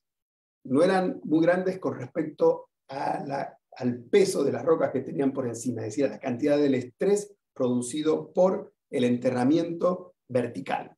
¿Y qué quiere decir esto? No sé, para los que se acuerdan del círculo de Moore, ¿no? Cuando ploteamos los esfuerzos principales máximos y la envolvente de Coulomb que señala la superficie de ruptura. Si nosotros ploteábamos con los datos geomecánicos uno de que sacamos del pozo, ¿no? eh, la distribución de estreses es strike slip, es decir, sigue siendo el esfuerzo principal máximo horizontal, no vertical, pero estamos en un ambiente tectónico activo, como les decía, vemos que la envolvente de Coulomb, ¿sí? y perdón, siempre se plotea acá el estrés efectivo, no el estrés real. El estrés real puede ser muy alto, pero el efectivo es el que gobierna la roca. El estrés efectivo es, es el estrés, el esfuerzo dado por el peso de la columna de roca, litológicamente hablando, y le tenemos que restar el que genera a contrapresión la presión de fluidos. ¿Qué quiere decir esto? Que nunca primero la presión de fluido va a poder romper a la roca, por más que esté recontra sobrepresionado, pero no la rompió, y vemos que con esta distribución nunca no la va a tocar. Entonces dijimos, uff, ahí ya quizás tenemos un tema geomecánico que nos está frenando que esta fractura, primero que se produzcan fracturas por expulsión de fluido, no va a haber muchas, ¿ok? Porque no toca el envolvente de culón, la presión no es lo suficientemente grande, y segundo, que si esto lo ponemos a producir, esas fracturas que están abiertas solamente van a estar sostenidas por estos cristales de que están aguantando que la fractura no se cierre, pero si no las fracturas van a tender a cerrarse una vez que le quitemos el fluido, ¿okay? que le está sosteniendo. Y tenemos que solamente tener este, eh, confianza, ¿no? sé tenemos que, eh, eh, la, poca apertura de fractura va a estar controlada por estos cristales, nada más, por crecimiento interno, y si no, la fractura se va a cerrar. Dos problemas que teníamos, pocas fracturas, poca densidad de fractura, y segundo, nunca íbamos a encontrar la, la eh, envolvente de Coulomb. En lo que en la jerga de geomecánica se dice, no íbamos a tener fracturas que estén estresadas y se puedan abrir. ¿Y esto cómo lo, sabemos? Bueno, porque lo aprendimos del campo. Fíjense, en el pozo Boyui, cuando ploteamos el, el diagrama de estreses y la envolvente de Coulomb, estamos por debajo y fíjense, el esfuerzo principal vertical se acerca mucho al esfuerzo principal máximo que es horizontal pero esto está a 7500. Cuando vamos a 4300 metros en los pozos de Margarita, en el campo, ¿ok? ¿Sí? Vemos, fíjense lo que sucede. El esfuerzo intermedio, que es el vertical, en vez de estar muy cerca del máximo que es horizontal, se rota, se va y se acerca a la magnitud del eh, esfuerzo principal mínimo. Ven aquí que está más cerca del máximo, acá se va al mínimo y se rotan los esfuerzos y se acerca al envolvente de Coulomb. Tal es el punto que a 4.000 metros ya hay pozos que tocan la envolvente de Coulomb, este quizá también. Y fíjense la densidad de fracturas. ¿Qué diferencia hay con lo que encontramos en el pozo?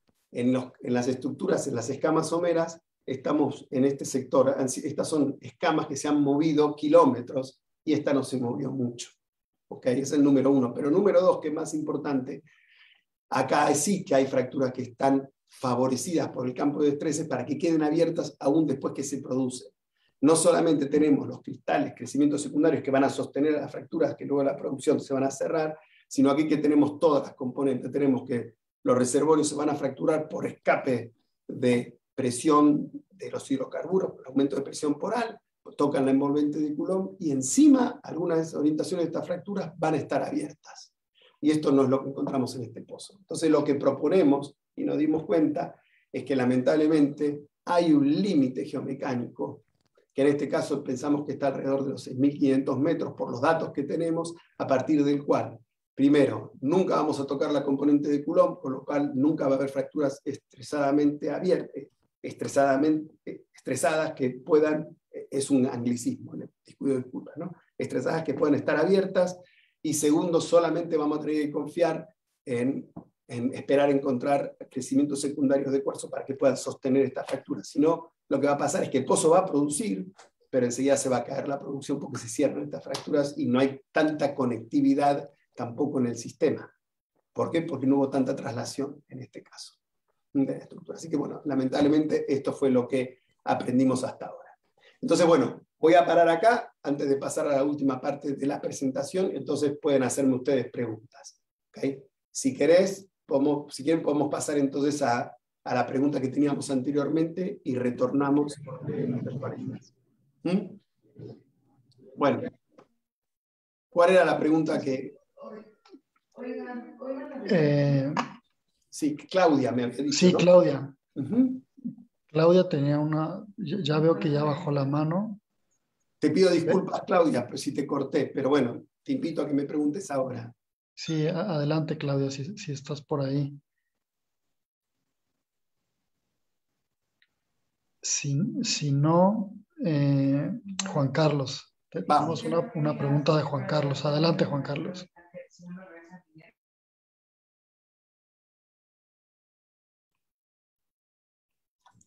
Este, mi pregunta es en el sentido de los trabajos que están haciendo en Bolivia, si están abiertos a- al uso de tecnologías no convencionales. A ver, ¿puedes ser un poquito más específico con inteligencia no convencionales? Sí, por ejemplo, el uso de termovisión tomográfica o imágenes satelitales. Ah, ok, ok. Ah, muy bien, muy bien. Ahora entendí para dónde venía. Bueno, mira, a ver, desde el- em, eh, hablo de Bolivia y lo que yo sé. ¿eh? Con respecto a imágenes satelitales y todo lo que tomamos allí, las utilizamos muchísimo, la hemos- las hemos utilizado para hacer el, todo el mapeo geológico. Eh, en, en las sierras, lamentablemente, ¿no? En las sierras subandinas eh, tienen una estación húmeda, en este caso, ¿no? Muy fuerte, entonces cuando uno ya baja de la cota de 4.000 metros, eh, empieza a formarse un monte muy espeso. Entonces no hay afloramientos casi. Mm. Y es difícil hacer geología de superficie. Uno puede ir en la estación seca y ver parches de afloramientos. Entonces, lo que se ha hecho mucho con imágenes satelitales fue mapeo. ¿no? Y clasificar las imágenes. Bueno, me imagino que si me estás haciendo esta pregunta, sabes cómo se trabaja, ¿no? Clasificar las imágenes, eh, extrapolar Sí, no, no sé si me está. no, no, escucho. Ah. Bueno, eh, eso se ha hecho, se ha hecho mucho. Eh, y, y hemos, la mayoría de los mapas que tenemos se han hecho de esa manera, para mapeo. Después, si se ha buscado, este, por ejemplo, evidencias de hidrocarburo a través de imágenes satelitales, normalmente lo hacemos en el ámbito offshore, eso, en el mar, no, no en, en superficie con imágenes. Sé que se puede hacer, pero yo no estoy en conocimiento de que lo hayamos hecho aquí. Y otro tipo de, imágenes satelitales para trabajar, se me, quizás por el tipo de vegetación, muchas veces se puede asociar a zonas que tienen manaderos de hidrocarburos, ¿no? Y no sé si se han clasificado, me imagino que sí, pero yo sé que lo han hecho en otros sectores, en otros lados, yo no, no tengo conocimiento aquí. Pero bueno, quizás se, se haya podido ver eso. Si uno tiene manaderos, ubica manaderos en superficie, puede este, asociar esos manaderos de tipo natural en superficie con acumulaciones más profundas. Pero no sé si tengo algo más. ¿eh? No, no, no, no estoy, Juan Carlos, para... para no, no conozco mucho más. Ok, este, muchas gracias, doctor. Sí. Claudia volvió. Ve, vemos que César, ah. Claudia todavía no vuelve, pero César tiene una pregunta. Adelante, César. Vamos, César. Buenas, buenas tardes, doctor. ¿Me escucho? Sí, sí, muy bien, claro. Este, mi pregunta va enfocado al tema de rentabilidad de los proyectos en aguas profundas. Usted sí. comentó que pues por el momento no hay manera de que un proyecto de esta magnitud sea redituable en ningún, en ningún país por el momento. Este, a futuro, debido a los altos costos que se tienen para, para producción a nivel masivo de gas, tanto como de condensado, ¿en algún punto se va a poder producir en aguas profundas o simplemente no hay la suficiente Te, interrumpo, eh, César. César, te interrumpo y te pido disculpas. Si me expresé mal, probablemente me expresé mal. No, no, no. Yo no me refería a las aguas profundas de México o de otros lados. Me refería. estas son acumulaciones profundas onshore, en continente y en Bolivia en particular. Eh, las acumulaciones eh, offshore es otra historia. ¿okay? Aquí, ¿qué sucedió? El, el, volumen producido, el caudal que podía producir este pozo era muy bajo. Entonces, por más que vos puedas, ese gas se pueda poner a producir, no va, te va a ser más caro. Primero, el costo del pozo no lo va a recuperar porque simplemente, por más que uno vendiera el gas a un precio alto, es tan bajo el volumen que va a tardar mucho en recuperarse. Y segundo, mantener el pozo en producción quizás es más caro del ingreso que puedes tener por, eh, por ese volumen que estás produciendo. En realidad aquí el problema de la comercialidad es porque es muy bajo el caudal y es muy costoso el pozo para ir tan profundo en un ámbito continental. El offshore es otra cosa. Si quieres hablamos del offshore. Perdóname que me interrumpí. Ah, no, no, no, no, no, ningún tipo de problema. Gracias por... Si quieres te digo un poquito del offshore. Ok, mira, en el offshore, este, hasta ahora, em, eh, en, el bloque 29 donde trabaja Repsol, hemos tenido descubrimientos, ok, em, que ya han sido publicados, ¿sí? Y justamente lo que estamos ahora es estudiar su comercialidad, ver cómo lo vamos a poder a, producir. En principio, todo indicaría que es posible. ¿Okay? No sé si has leído en el diario, no fueron los, los descubrimientos de Polo Kichinguol en el bloque 29 en la cuenca del sureste, ¿no? en la cuenca de Salinas Offshore. Y justamente lo que estamos haciendo ahora nosotros como Repsol y los socios es estudiar a ver si podemos ponerlo a producir con la comercialidad. En principio todo indicaría que es posible, que es posible, pues son descubrimientos importantes. Ok, muchísimas gracias, doctor. Pero eso es petróleo, ¿eh? es petróleo y es mucho más o menos. Estamos hablando de 2.000 metros, 2.500 metros, no, no es 8.000 metros. sí, sí, claro que sí. Bueno, ¿alguna otra pregunta? Sí, tenemos a Abraham. Vamos, Abraham. Ah, buenas tardes, mucho gusto. Buenas tardes. Este, mi pregunta es encaminada en la presentación. Lo que pasa es que hubo un momento en el que me perdí, en donde decía que el riesgo de exploración era 27% o era la, la seguridad con la que perforaba. No, el riesgo es la chance de encontrarlo, ¿ok? Y que fluya hidrocarburo, ¿ok? Eso es lo ah. que se llama el P sub G, riesgo geológico. El riesgo geológico en exploración se entiende eso, la chance que tenés de encontrar una acumulación que pueda fluir hidrocarburo a superficie. ¿Ok? Y en este caso dijimos 30%. ¿Mm? Ok, ok. Tengo otra pregunta más. Este, cuando usted mencionó que en la parte norte tenía la sísmica 3D, pero en la parte sur no, ¿con qué método extrapoló? Es que estadístico. Ah, muy bien. Muy bien. No, bueno, lo que hicimos fue este, para entender cómo es la, conexión entre la estructura del sur y la del norte, lo único que hicimos fue hacer un modelo pseudo 3D, es decir, eh, y hablo de los horizontes que están produciendo, en este caso la formación Guampampa, los monos, que estábamos hablando de las rocas, ¿no? Los diferentes horizontes en el campo lo tenemos bastante controlado porque hay muchos datos de pozo, ¿ok? Y de sísmica, ¿no? Pero después, hacia el sur hay secciones 2D nada más, secciones estructurales que están espaciadas cada más o menos 4 kilómetros. ¿Ok? ¿Sí? En sentido perpendicular a las estructuras. ¿Cómo rellenamos el espacio entre ¿no? 4 cada 4 kilómetros? Bueno, primero no hay pozos, entonces es una interpretación. Y después extrapolamos esa interpretación entre los, los ah, dos pozos, utilizando diferentes, entre las secciones, utilizando diferentes métodos. ¿ok? En principio puede ser directo o interpolando, pero es, es, eh, está muy bien la pregunta porque este, si vos ves los mapas, tienen mucha continuidad en un sentido norte-sur, pero con, con, líneas que están espaciadas a 5 kilómetros nos perdemos todas las, las desconexiones laterales. Es, es muy baja, el modelo es conceptual, por eso yo decía que el modelo es conceptual. Y por eso, volviendo al tema de riesgo, ¿no? que me preguntabas, este, el riesgo es tan alto porque la definición de la estructura es mala, probablemente sirva para la zona de la, de la dirección sísmica, pero en nivel te alejas uno o dos kilómetros ya la cosa cambia. Ya no tenés seguridad porque no tenés un dato sísmico tridimensional para poder rellenar esa información. Te basas en una extrapolación geológica. Y bueno, así no fue. No, no estuvo. tengo otra pregunta. Sí, sí, este, de, de, todos estos datos que reunieron en la, bueno, en la fase exploratoria de la región sur, ¿cómo pueden ser aprovechados en la región norte? Eh, bueno, aprovechando la inversión que se hizo, ¿no? Uy, me encantó la pregunta. Muy bien. Mirá, y esto tiene que ver con lo que te estaba diciendo ahora y te lo voy a contestar durante la presentación, pero me adelanto. Lo que aprendimos es, primero, primero confirmamos los modelos que pensábamos. Muchas cosas que teníamos es, eh, bueno, si vos estás, visto lo que te decía del fracturamiento, si te vas a las escamas profundas, no deberían estar tan fracturadas porque no tuvieron suficiente traslación, ¿ok? Y bueno, lo confirmamos. Em, lo confirmamos de la manera más dura que te puede pasar, que es tener un pozo seco y haber gastado tanto dinero. ¿ok?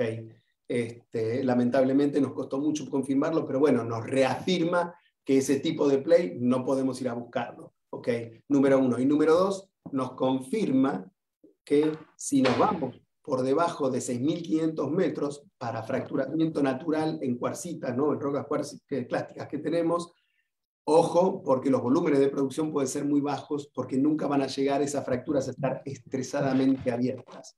Creo que fueron las dos las dos este, lecciones más importantes aprendidas. No tener, si la, traslación sigue siendo la componente más importante para generar conectividad de fracturamiento, ¿ok?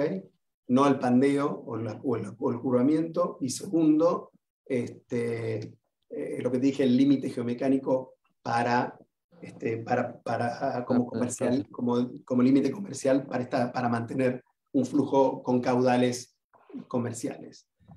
Son las lecciones duras, pero bueno, las aprendimos. Entonces ahora vamos a explorar manteniéndonos dentro de estos, de estos eh, conceptos. Este, tengo una pregunta más. Sí, dale, todavía tenemos tiempo. Ok, este, bueno, esta es como más financiera. Este, por ejemplo, el costo de, bueno, más bien, eh, ¿cómo prevé usted que se comporte el mercado petrolero el siguiente año? Al, bueno, ya que la pandemia se está este, estabilizando. ¿Usted cree que va a ir a la alza o va a ir a la baja? Bueno, esa es la... Abraham es tu nombre. Sí, Abraham. Abraham, me preguntaste la pregunta del millón, eso te lo hay que preguntar a los analistas. Pero bueno, yo te digo lo que dicen los analistas. Lo primero que te voy a decir, para que vean los analistas y para que vean lo que es la volatilidad hoy, me voy a poner un año atrás un año atrás, un poquito más de un año atrás, nadie, nadie preveía que este barril iba a estar 80. Sabíamos que íbamos a tener un rebote, pero que no se iba a sostener. Entonces eh, fue muy difícil, es muy difícil ¿no? Hacer una predicción. Eso es lo que quiero decir, no estoy echando la culpa a nadie, sino que es muy difícil. Lo que estamos viviendo ahora justamente es un rebote de la economía que está saliendo por el tema de la pandemia y hay una avidez de energía muy grande. ¿no? Y eso genera que los stocks a futuro vayan bajando, entonces se empiezan a, hay que reponerlos, ¿no? Entonces eso hace que el precio suba porque no se visualizan reposiciones de stocks, ¿no? de, volúmenes hacia futuro. Eso por un lado.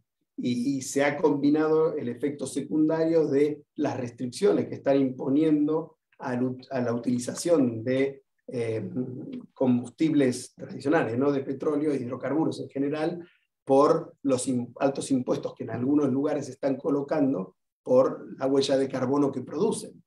¿no? Entonces, eso hace que los precios suban. En los mercados, por ejemplo, ¿no?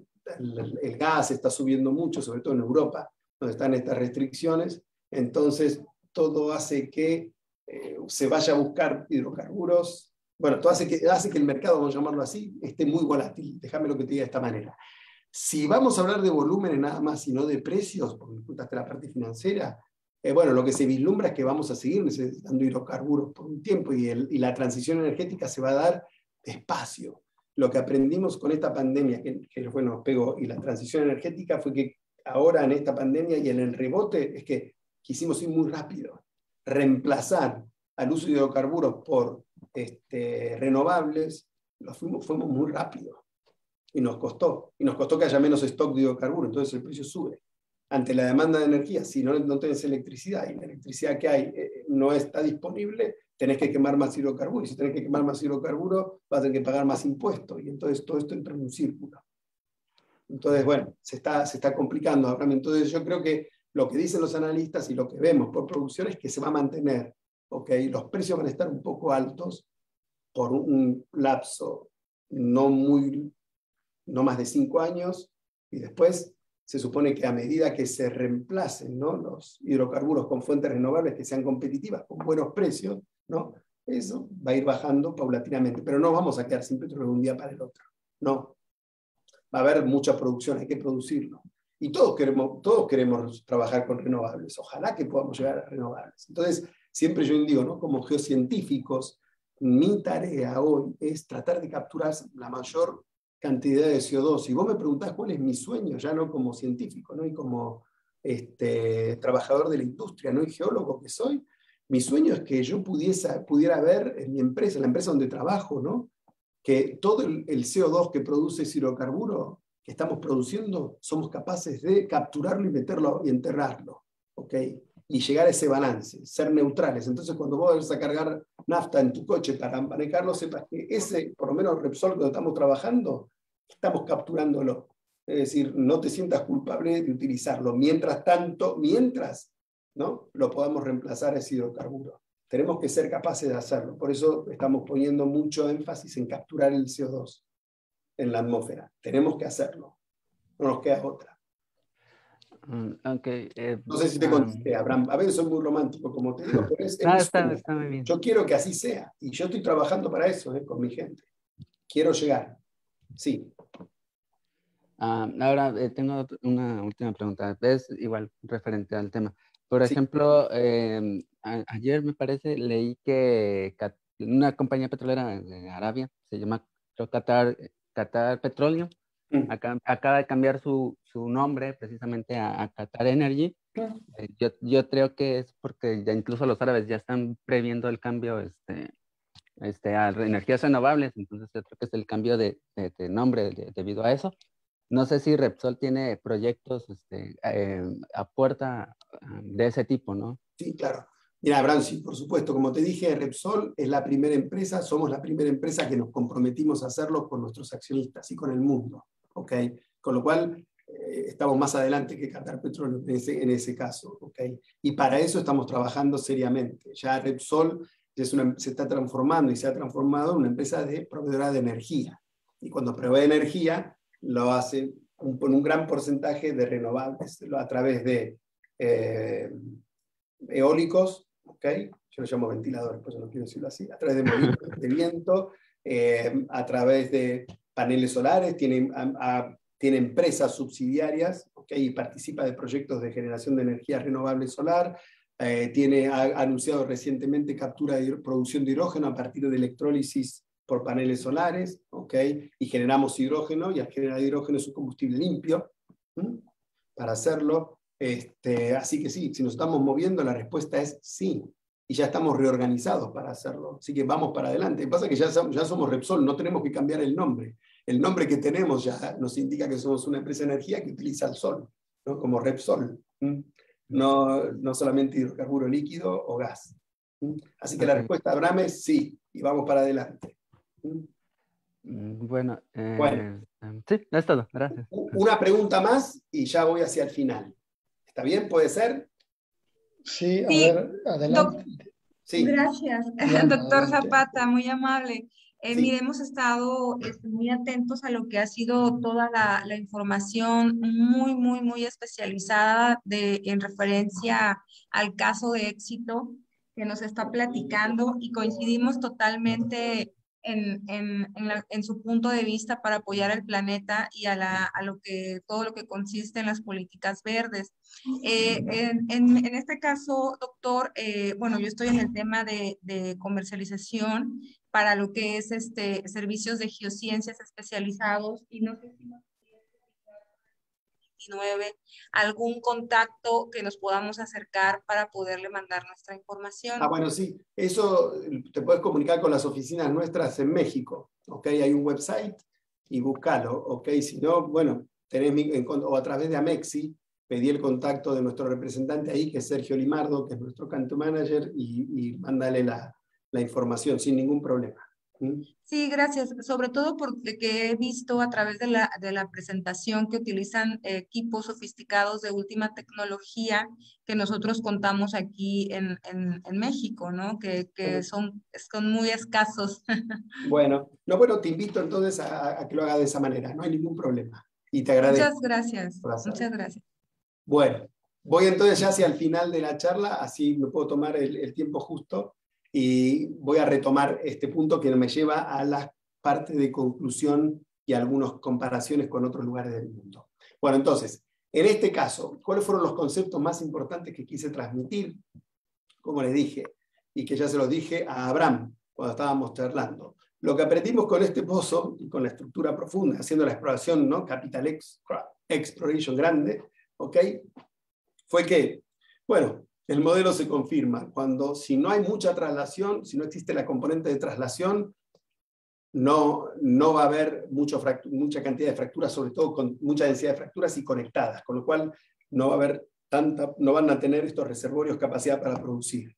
Y encima existe un, un límite potencialmente geomecánico, alrededor de 6.500 metros, por el cual, aún teniendo fracturas que estén abiertas y eh, este, por por, que estén abiertas ¿no? por el fluido que la sostiene. Una vez que se produce ese fluido, al no haber conectividad, se van a cerrar y lo único que me queda para poder mantener esa apertura son los crecimientos secundarios de cuarzo que al, no ser tan abundantes o no muy eficientes, bueno, en este caso no, no funcionó. Podría funcionar en otro lado y quizás sí, pero aparentemente nunca vamos a llegar a esta situación de tener fracturas estresadas, con lo cual no, la, sobrepresión no va a generar fracturamiento adicional y tampoco va a mantener un caudal ¿no? este, sostenido. Así que bueno, esas fueron las lecciones duras aprendidas, pero bueno, nos permite ir hacia adelante y también aplicarlo en otras partes del mundo, ¿no? cuando vamos a buscar estructuras profundas. ¿Mm? Bueno, sigo entonces hacia adelante y entonces, ¿qué hicimos con todo esto? Redefinimos, y en realidad redefinimos, terminamos de completar las, las, la clasificación de las del play de estructuras profundas en el subandino boliviano para acumulaciones de gas de ¿okay? Y proponemos lo siguiente, tomando cortes estructurales y aplicando lo aprendido hasta ahora, que son de otros autores, ¿no? Este, tenemos lo siguiente. Bueno, primero, podemos definir este, las acumulaciones someras de hidrocarburos. Fíjense, aquí está representado en color marrón el reservorio y en color amarillo la roca, el sello este que tenemos por encima. Cuando las estructuras son muy someras, ¿okay? como los yacimientos Caigua, Monos que hay en Bolivia, muy somera, está asociado a estos anticlinales, lamentablemente, ¿qué es lo que perdemos primero? El sello casi llega a la superficie, con lo cual ¿se acuerdan que les dije la naturaleza, la, la, naturaleza del sello es hidrodinámica, es sobrepresión? ¿ok? Bueno, la componente de presión de poros, dada por la acumulación de, hidrocarburos que tienen y agua que tiene ese sello, se pierde. Esa componente no está más porque al estar todo fracturado llega a superficie, se perdió y solamente me queda la capacidad sellante de una arcilita o lutita en este caso. Y es un sello muy selectivo va a dejar pasar el gas y quizás el petróleo no. Por esto estos campos que son muy someros producen mayoritariamente líquidos y no tanto gas. No pueden soportar un sello litológico roto gas, grandes columnas de gas, pero sí de petróleo, de líquido. Muy bien. Esas son las acumulaciones someras. Después tenemos las acumulaciones intermedias, que son las que queremos tener. Son las mejores, las más prolíficas en el, en el subandino boliviano. Son más o menos entre 2.000 y 4.500 metros. ¿Qué ocurre aquí? Primero, tenemos el sello, en este caso amarillo, de los monos, en este caso, que está muy bien contenido y tenemos los estreses horizontales bien marcados, el esfuerzo principal máximo ya es horizontal, tectónico, en este caso no, olvidé decirlo, porque en este caso somero no, el sello está muy bien este, contenido, tiene la sobrepresión y aquí abajo las fracturas naturales, fíjense, estas escamas han sido trasladadas, entonces tenemos fracturas, esas fracturas van a estar críticamente estresadas, entonces no solamente van a producir por, primero por gran, mayor número, por mayor conectividad y, este, sino, y por sostenimiento, por cristalización secundaria, sino también porque el campo tensional se los permite, algunas, algunas por lo menos mantener abiertos a lo largo de su vida de producción, y al haber tanta conectividad tenemos que estas escamas tienen acuíferos regionales, está todo conectado. Y como les di ese ejemplo, podemos tener acuíferos regionales de más de 100 kilómetros, todos conectados. ¿okay? Es el mejor de los mundos. ¿okay? Y como ejemplo tenemos Campo San Alberto, San Antonio, etc. Después vamos a las acumulaciones ya profundas, ¿ok? que son las que están entre 4.000 y 6.000 metros, ¿ok? como puede ser el campo Incahuasi, que lo produce Total, la empresa Total, o el campo Margarita, que lo produce la empresa Repsol en Bolivia, donde las acumulaciones están ahí, esas profundidades entre 4 y 4.500 y 600 metros, y, perdón, y 6.000 metros, este, y donde tenemos que las relaciones de estreses del esfuerzo principal horizontal y el máximo vertical es 1,5 a 1 y nos permite acercarnos al envolvente de Coulomb ¿okay? y tener algunas fracturas que puedan estar abiertas, pero aquí, ¿no? como ya está tan profundo y algunas fracturas ya no hay, no hay tanta conectividad, hay conectividad por el lado tectónico, pero no por el lado del punto de vista geomecánico, porque no todas las fracturas pueden estresarse. Lo que se ha observado es que, y lo que proponemos y se ha observado es que todas estas escamas son compartimentamientos estancos, no es pervasiva toda esa deformación y apertura de fracturas. Entonces, cada escama tiene su acuífero, no hay acuíferos regionales, cada una tiene su contacto y su régimen de presión, y las acumulaciones son independientes. ¿okay? lo que hay es mucha compartimentalización. Y ya lamentablemente nos vamos a la estructura profunda. Lamentablemente aquí ¿sí? ya pasamos un límite geomecánico, donde, como les dije, las únicas fracturas que van a producir son las pocas que hay que están abiertas y sostenidas por cristalización secundaria, pero no hay mucha conectividad. ¿sí? Y hay un límite entonces de 6.000, 6.500 metros que ya a partir de abajo va a ser difícil. Y sobre todo, si no hay gran componente de traslación en la deformación, menos cantidad de fractura vamos a tener y más difícil va a ser que estos yacimientos puedan producir. Entonces hemos, hemos ya entendido cuál es la guía para perforar en estos campos andinos profundos. ¿okay? Bueno, tenemos análogos en el mundo de campos profundos cuando vamos a ver acumulaciones sobre todo de gas, ¿no? Gas y líquidos profundas. Sí hay, hay. Y lo que hemos visto, ¿no? Es que, bueno, en Bolivia por eso lo fuimos a buscar. Creo que los análogos más cercanos serían los que hay en China, que tienen acumulaciones realmente muy profundas, a 7.500 metros son los campos más profundos que hay, o en Europa que tenemos también eh, campos, pero son más bien clásticos, ¿no? Y han actuado igual que lo que ocurre aquí. Pero ¿cuál es la gran diferencia en general que estamos viendo? Es que estos son más bien cenozoicos, son rocas más nuevas.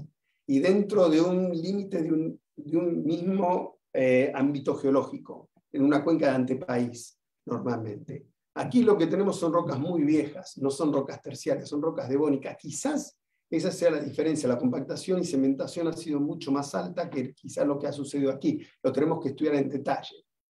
Y después lo que estuvimos viendo también es que los reservorios profundos que tenemos también aquí en Europa, muy profundos, no son en rocas clásticas, sino más bien dolomitas. Y cuando vamos a ejemplos en México, ¿tenemos acumulaciones profundas en México? Claro que las hay. ¿sí? Tenemos dos campos de Pemex muy conocidos, ¿no? uno que es el Keski, que ha sido un descubrimiento reciente, o, o Ixachi también que son acumulaciones profundas, pero son en carbonatos, en dolomitas, no, no tiene que ver con lo que vimos nosotros. Entonces quizás estas reglas de geomecánica no apliquen. Okay, si aquí tomamos, por ejemplo, esto tomado de IHS, ¿no? los campos de Pemex de Keski, tenemos acumulaciones muy profundas en, en olitas, en rocas que son carbonáticas, con lo cual aparentemente esa porosidad secundaria y primaria se pudo conservar mejor que en una roca clástica que se compacta. Ok, evidentemente acá los drivers son, los controles son diferentes. O el otro yacimiento, el Keski, que fíjense, hermoso se ve este caliza arrecifales, son arrecifes de coral enterrados, ok, donde tenemos la porosidad dada primaria todavía por los animales asociados a los coral reef, los arrecifes de coral, perdón, que han mantenido esa, evidentemente esa porosidad y han podido producir pero no es el caso de lo que nos ha sucedido en el subandino. Entonces, para terminar, un poco todo lo que aprendimos hoy, o por lo menos traté de transmitirles, es que eh, cuando estamos, sobre todo, en un yacimiento, bueno, estas son las principales, ¿no? En yacimientos que tienen que mantener producción, sobre todo dado un entorno de transición energética donde visualizamos que no queda mucho horizonte para producir porque va a ser todo reemplazado por energía renovable, eh, la opción de ir a profundizar, a buscar reservorios profundos es viable, pero bueno, en el caso del subandino boliviano hay un límite para ir. ¿ok? Lo otro que hemos aprendido es que necesitamos tener buena información sísmica. Si no tenemos buena información en sísmica y no somos capaces de reprocesar la información sísmica a medida que vamos perforando, cuando vamos por objetivos profundos, sobre todo porque va cambiando el modelo estructural y las velocidades que, que utilizamos, este, si no tenemos esa flexibilidad y no vemos reflectividad asociada, y como le decía, a, olvidé el nombre, ah, este, transformar reflexiones en reflectores, es decir, darle sentido geológico, este, listo, no, somos, no podemos perforar porque vamos a ir a ciegas. Y esto lo aprendimos de la manera dura en Boyubi. El pozo Boyubi prueba que el sistema en Bolivia, ¿no? Probó que el sistema petrolero funciona, que es el mismo gas y condensado que se produce en los campos someros, todo está conectado, con lo cual eh, hay chance de encontrar estas acumulaciones profundas, pero tenemos que tener en cuenta que hay un límite de comercialidad para un reservorio naturalmente fracturado si pasamos una cierta profundidad porque ya no vamos a tener estado, un estado tensional favorable para mantener algunas direcciones de fracturas abiertas y segundo, si no hay a medida que nos vamos abajo, las estructuras profundas, al no tener tanto desplazamiento, se pierde la componente de traslación y no hay tanta conectividad de fracturas. En el campo Margarita hay pozos que se perforan en la cresta de los anticlinales o en los flancos, y por ahí los campos que producen en los flancos producen más que en las crestas de los anticlinales. Insisto, porque toda la mayor cantidad de fracturamiento está dada por traslación, no por curvamiento, que es lo que aprendemos muchas veces con sentido fijista okay, cuando hacemos los estudios en las universidades. Eh, este, por último, para producciones comerciales, de estos campos necesitamos fuentes de porosidad secundaria adicional, que haya mineralización secundaria que pueda sostener estas fracturas, okay, o en el caso de carbonatos, como les mostré en México, por ejemplo, dolomitizaciones, etc. Pero lamentablemente las componentes de fracturas primarias tienden a cerrarse por debajo del límite geomecánico. Y por último, bueno, les mostré cómo aprendimos y pudimos reclasificar este play petrolero de gas en Bolivia. Bueno, y esto es todo lo que tenía para mostrarles hoy. Si tienen más preguntas, me quedan unos cinco minutos para poder contestar un par de preguntas más. Muchas gracias, eh, doctor. Tenemos la mano levantada. FF tiene la mano levantada. Así que FF, adelante.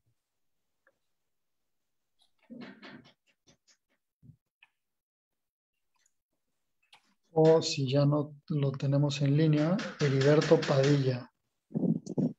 Sí, buenas, buenas tardes. ¿Me escuchan? Sí, sí, perfecto. Buenas tardes, eh, doctor. Una consulta eh, referenciado a, lo que comentó sobre el tema del yacimiento de Guamampampa. Sí. de que está eh, ahora sí que tiene fracturas naturales, pero desafortunadamente tienden a cerrarse. ¿Han visto la posibilidad de, no sé, mediante el método de fracturamiento hidráulico poder atender alguno de, estos pozos? Sí, sí, mira, te lo explico, ¿no? El gradiente de fractura es altísimo, está muy profundo y son rocas viejas. Se podría hacer, habría que conseguir un equipo muy grande y todo, pero claro, sería, sería muy costoso hacerlo. Gilberto. Gilberto, perdón. Sí. Y, también eh, tenía entendido que, por ejemplo, el, yacimiento, como decía, de, los monos, que es más somero, eh, ¿tienen algún, eh, algún proyecto de poder ahí atender ese yacimiento y poder, poder atender también algún trabajo de fractura? No lo sé, no lo operamos nosotros, el yacimiento, y es muy viejo, la verdad que no, no, no, no, no tengo información para comentártelo, pero bueno, podría ser una opción, pero eh, la verdad que, la verdad que no, no te puedo contestar esa pregunta. Te pido disculpas, Gilberto, no, no tengo conocimiento. Mm. Gracias.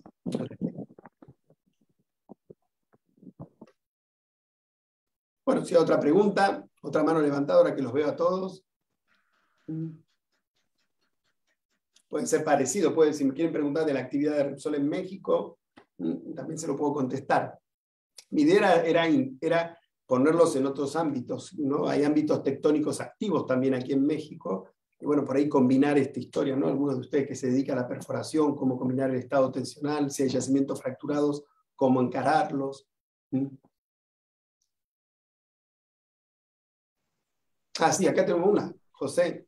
José David, adelante. Sí, estás en mute. Ahí está. Buenas tardes. Eh, muchas gracias por la plática. Eh, yo tenía una duda respecto al reservorio que dijo que se encontraba a mayor profundidad, donde tuvieron que perforar otros mil metros.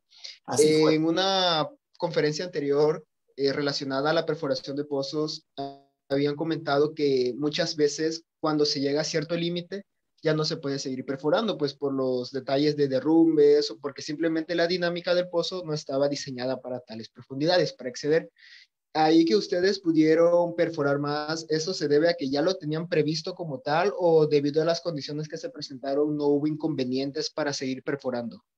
Uf, muy buena pregunta, José David. Mira, fue un reto fue un reto. Llegamos a 6.000 metros, 6.000 y pico, no me acuerdo cuánto era. Paramos porque vimos que aumentó muchísimo también la presión poral. Y dijimos, señores, si esto sigue aumentando, este, ya nos vamos a quedar sin ventana para poder perforar. La intensidad del lodo 16 es muy alta. ¿no? Eh, bueno, en ese momento nos reunimos todos y lo que hicimos fue, primero hicimos, como les di, traté de comunicar en la presentación, una actualización del modelo y dijimos, ¿dónde está el reservorio? ¿Dónde va a estar? ¿A qué profundidad va a estar? Y vimos un reflector profundo. Dijimos, bueno, máximo mil metros más, mínimo 600, o sea, es una, era un rango. Eh, hablamos con los drillers, los perforadores, ¿no? nos, nos reunimos todos, con los socios también, por supuesto, y dijimos, bueno, eh, analizamos las condiciones del pozo y vimos que el pozo se ha comportado muy bien, a pesar de todo el pozo no se, no se cerraba y era muy estable el borehole, ¿no? el, el pozo en sí mismo. ¿no? Entonces, al, ser muy estable, dijimos, miren, señores, desde el punto de vista de, drilling, como vos decís, no hay problema, puede funcionar. Sí, teníamos que prepararnos para tocar, al bajar la densidad tener un blowout, o sea, un, kick, una entrada de gas fuerte. Entonces tuvimos que entrenar a todo el personal por temas de seguridad para estar atentos a hacer un kick. Eso lo trabajó muy bien la gente de perforación. Hicieron varios simulacros, todo, y la gente estaba preparada. En general, cuando tenés un kick que se te viene el gas, eh, los accidentes que han ocurrido es más, es más por no estar preparado que por, por no tener los indicadores. Entonces pusimos todos los sensores en el pozo y a la gente lista. Y decidimos tomar el riesgo, ir hacia adelante porque se podía hacer. Podíamos tener una válvula arriba preventora, la BOP, que podía contener eh, una entrada de gas fuerte de más de 15.000 PSI, así, o hasta 15.000 PSI. Así que pudimos, pudimos hacerlo porque las condiciones del, del pozo todavía lo, lo, lo, lo ameritaba. Listo. Muchas gracias. No, de nada, José. ¿Alguna otra pregunta? No veo manos levantadas, pero bueno. Bueno, espero no haberlos aburrido mucho. si no hay otras preguntas, yo ya estoy terminando. No sé, Manuel, si tenés que hacer el cierre. Eh, ¿Me escucha, doctor? Ah, sí, sí. Daniel. Eh, sí, claro. Eh, tengo una pregunta relacionada a lo de Green Exploration. Sí, eh, Si hay en México algún proyecto donde almacenen el CO2 en, en ya sea en estructuras estratigráficas o estructurales o algún caso particular que se haya hecho en México. Ah, mira, la verdad, la verdad no sabría decirte. ¿eh? No, no, no, no, que, a ver, Sí, sí es, eh, o sea, que es captura, captura para dejarlo enterrado y no utilizarlo. No, no tengo conocimiento en México, sí en Estados Unidos, pero no en México. Pero no quiere, no, que no lo sepa no quiere decir que, no lo sé si no hay algún piloto. Sé que hay estudios, hemos hablado con la Universidad Autónoma de México y otros entes que han, hay, proyectos, pero yo no sé si está funcionando o están en etapa piloto o ni siquiera sé si los están haciendo. No, no te podría decir. IOR, que es la otra parte de circular CO2, para poder sacar petróleo, eh, supongo que sí, porque eso es más común. Pero para tener almacenamiento y guardarlo para no utilizarlo, no, no estoy seguro, no lo sé. Pero me parece que no, no escuche peso, hoy insisto, no quiere decir que sepa. Bueno, Gracias. culpable, no lo sé. Listo, ya, ya me tengo que ir, Manuel, ya, tengo que ir a otra reunión. Les pido disculpas, estoy en la oficina y y tenía muchas reuniones de trabajo. Mm. Sí, muchísimas gracias, eh, doctor Zapata, por, por, su tiempo, por compartir con nosotros eh, la experiencia. Eh, y felicidades a, Repsol por todo el trabajo que están haciendo. Finalmente les recuerdo a los estudiantes que sigan a las redes de Amexi para conocer la, la siguiente conferencia que será el viernes temas de cadena de suministro por nuestros amigos de Jaguar. Muchísimas gracias a todos y eh, que tengan buen resto del día. Mañana hay taller, ¿verdad? Mañana, mañana sí, hay taller. Bueno, muchas gracias. El gusto fue mío, el placer fue mío y ojalá que la próxima vez lo podamos hacer personalmente, así podemos hacer más, más preguntas y no me hago yo las preguntas. ¿Mm? Muchas gracias. Mucho gusto. Saludos a todos. Buenas tardes. Gracias. Hasta luego. Gracias. Que tenga buena tarde.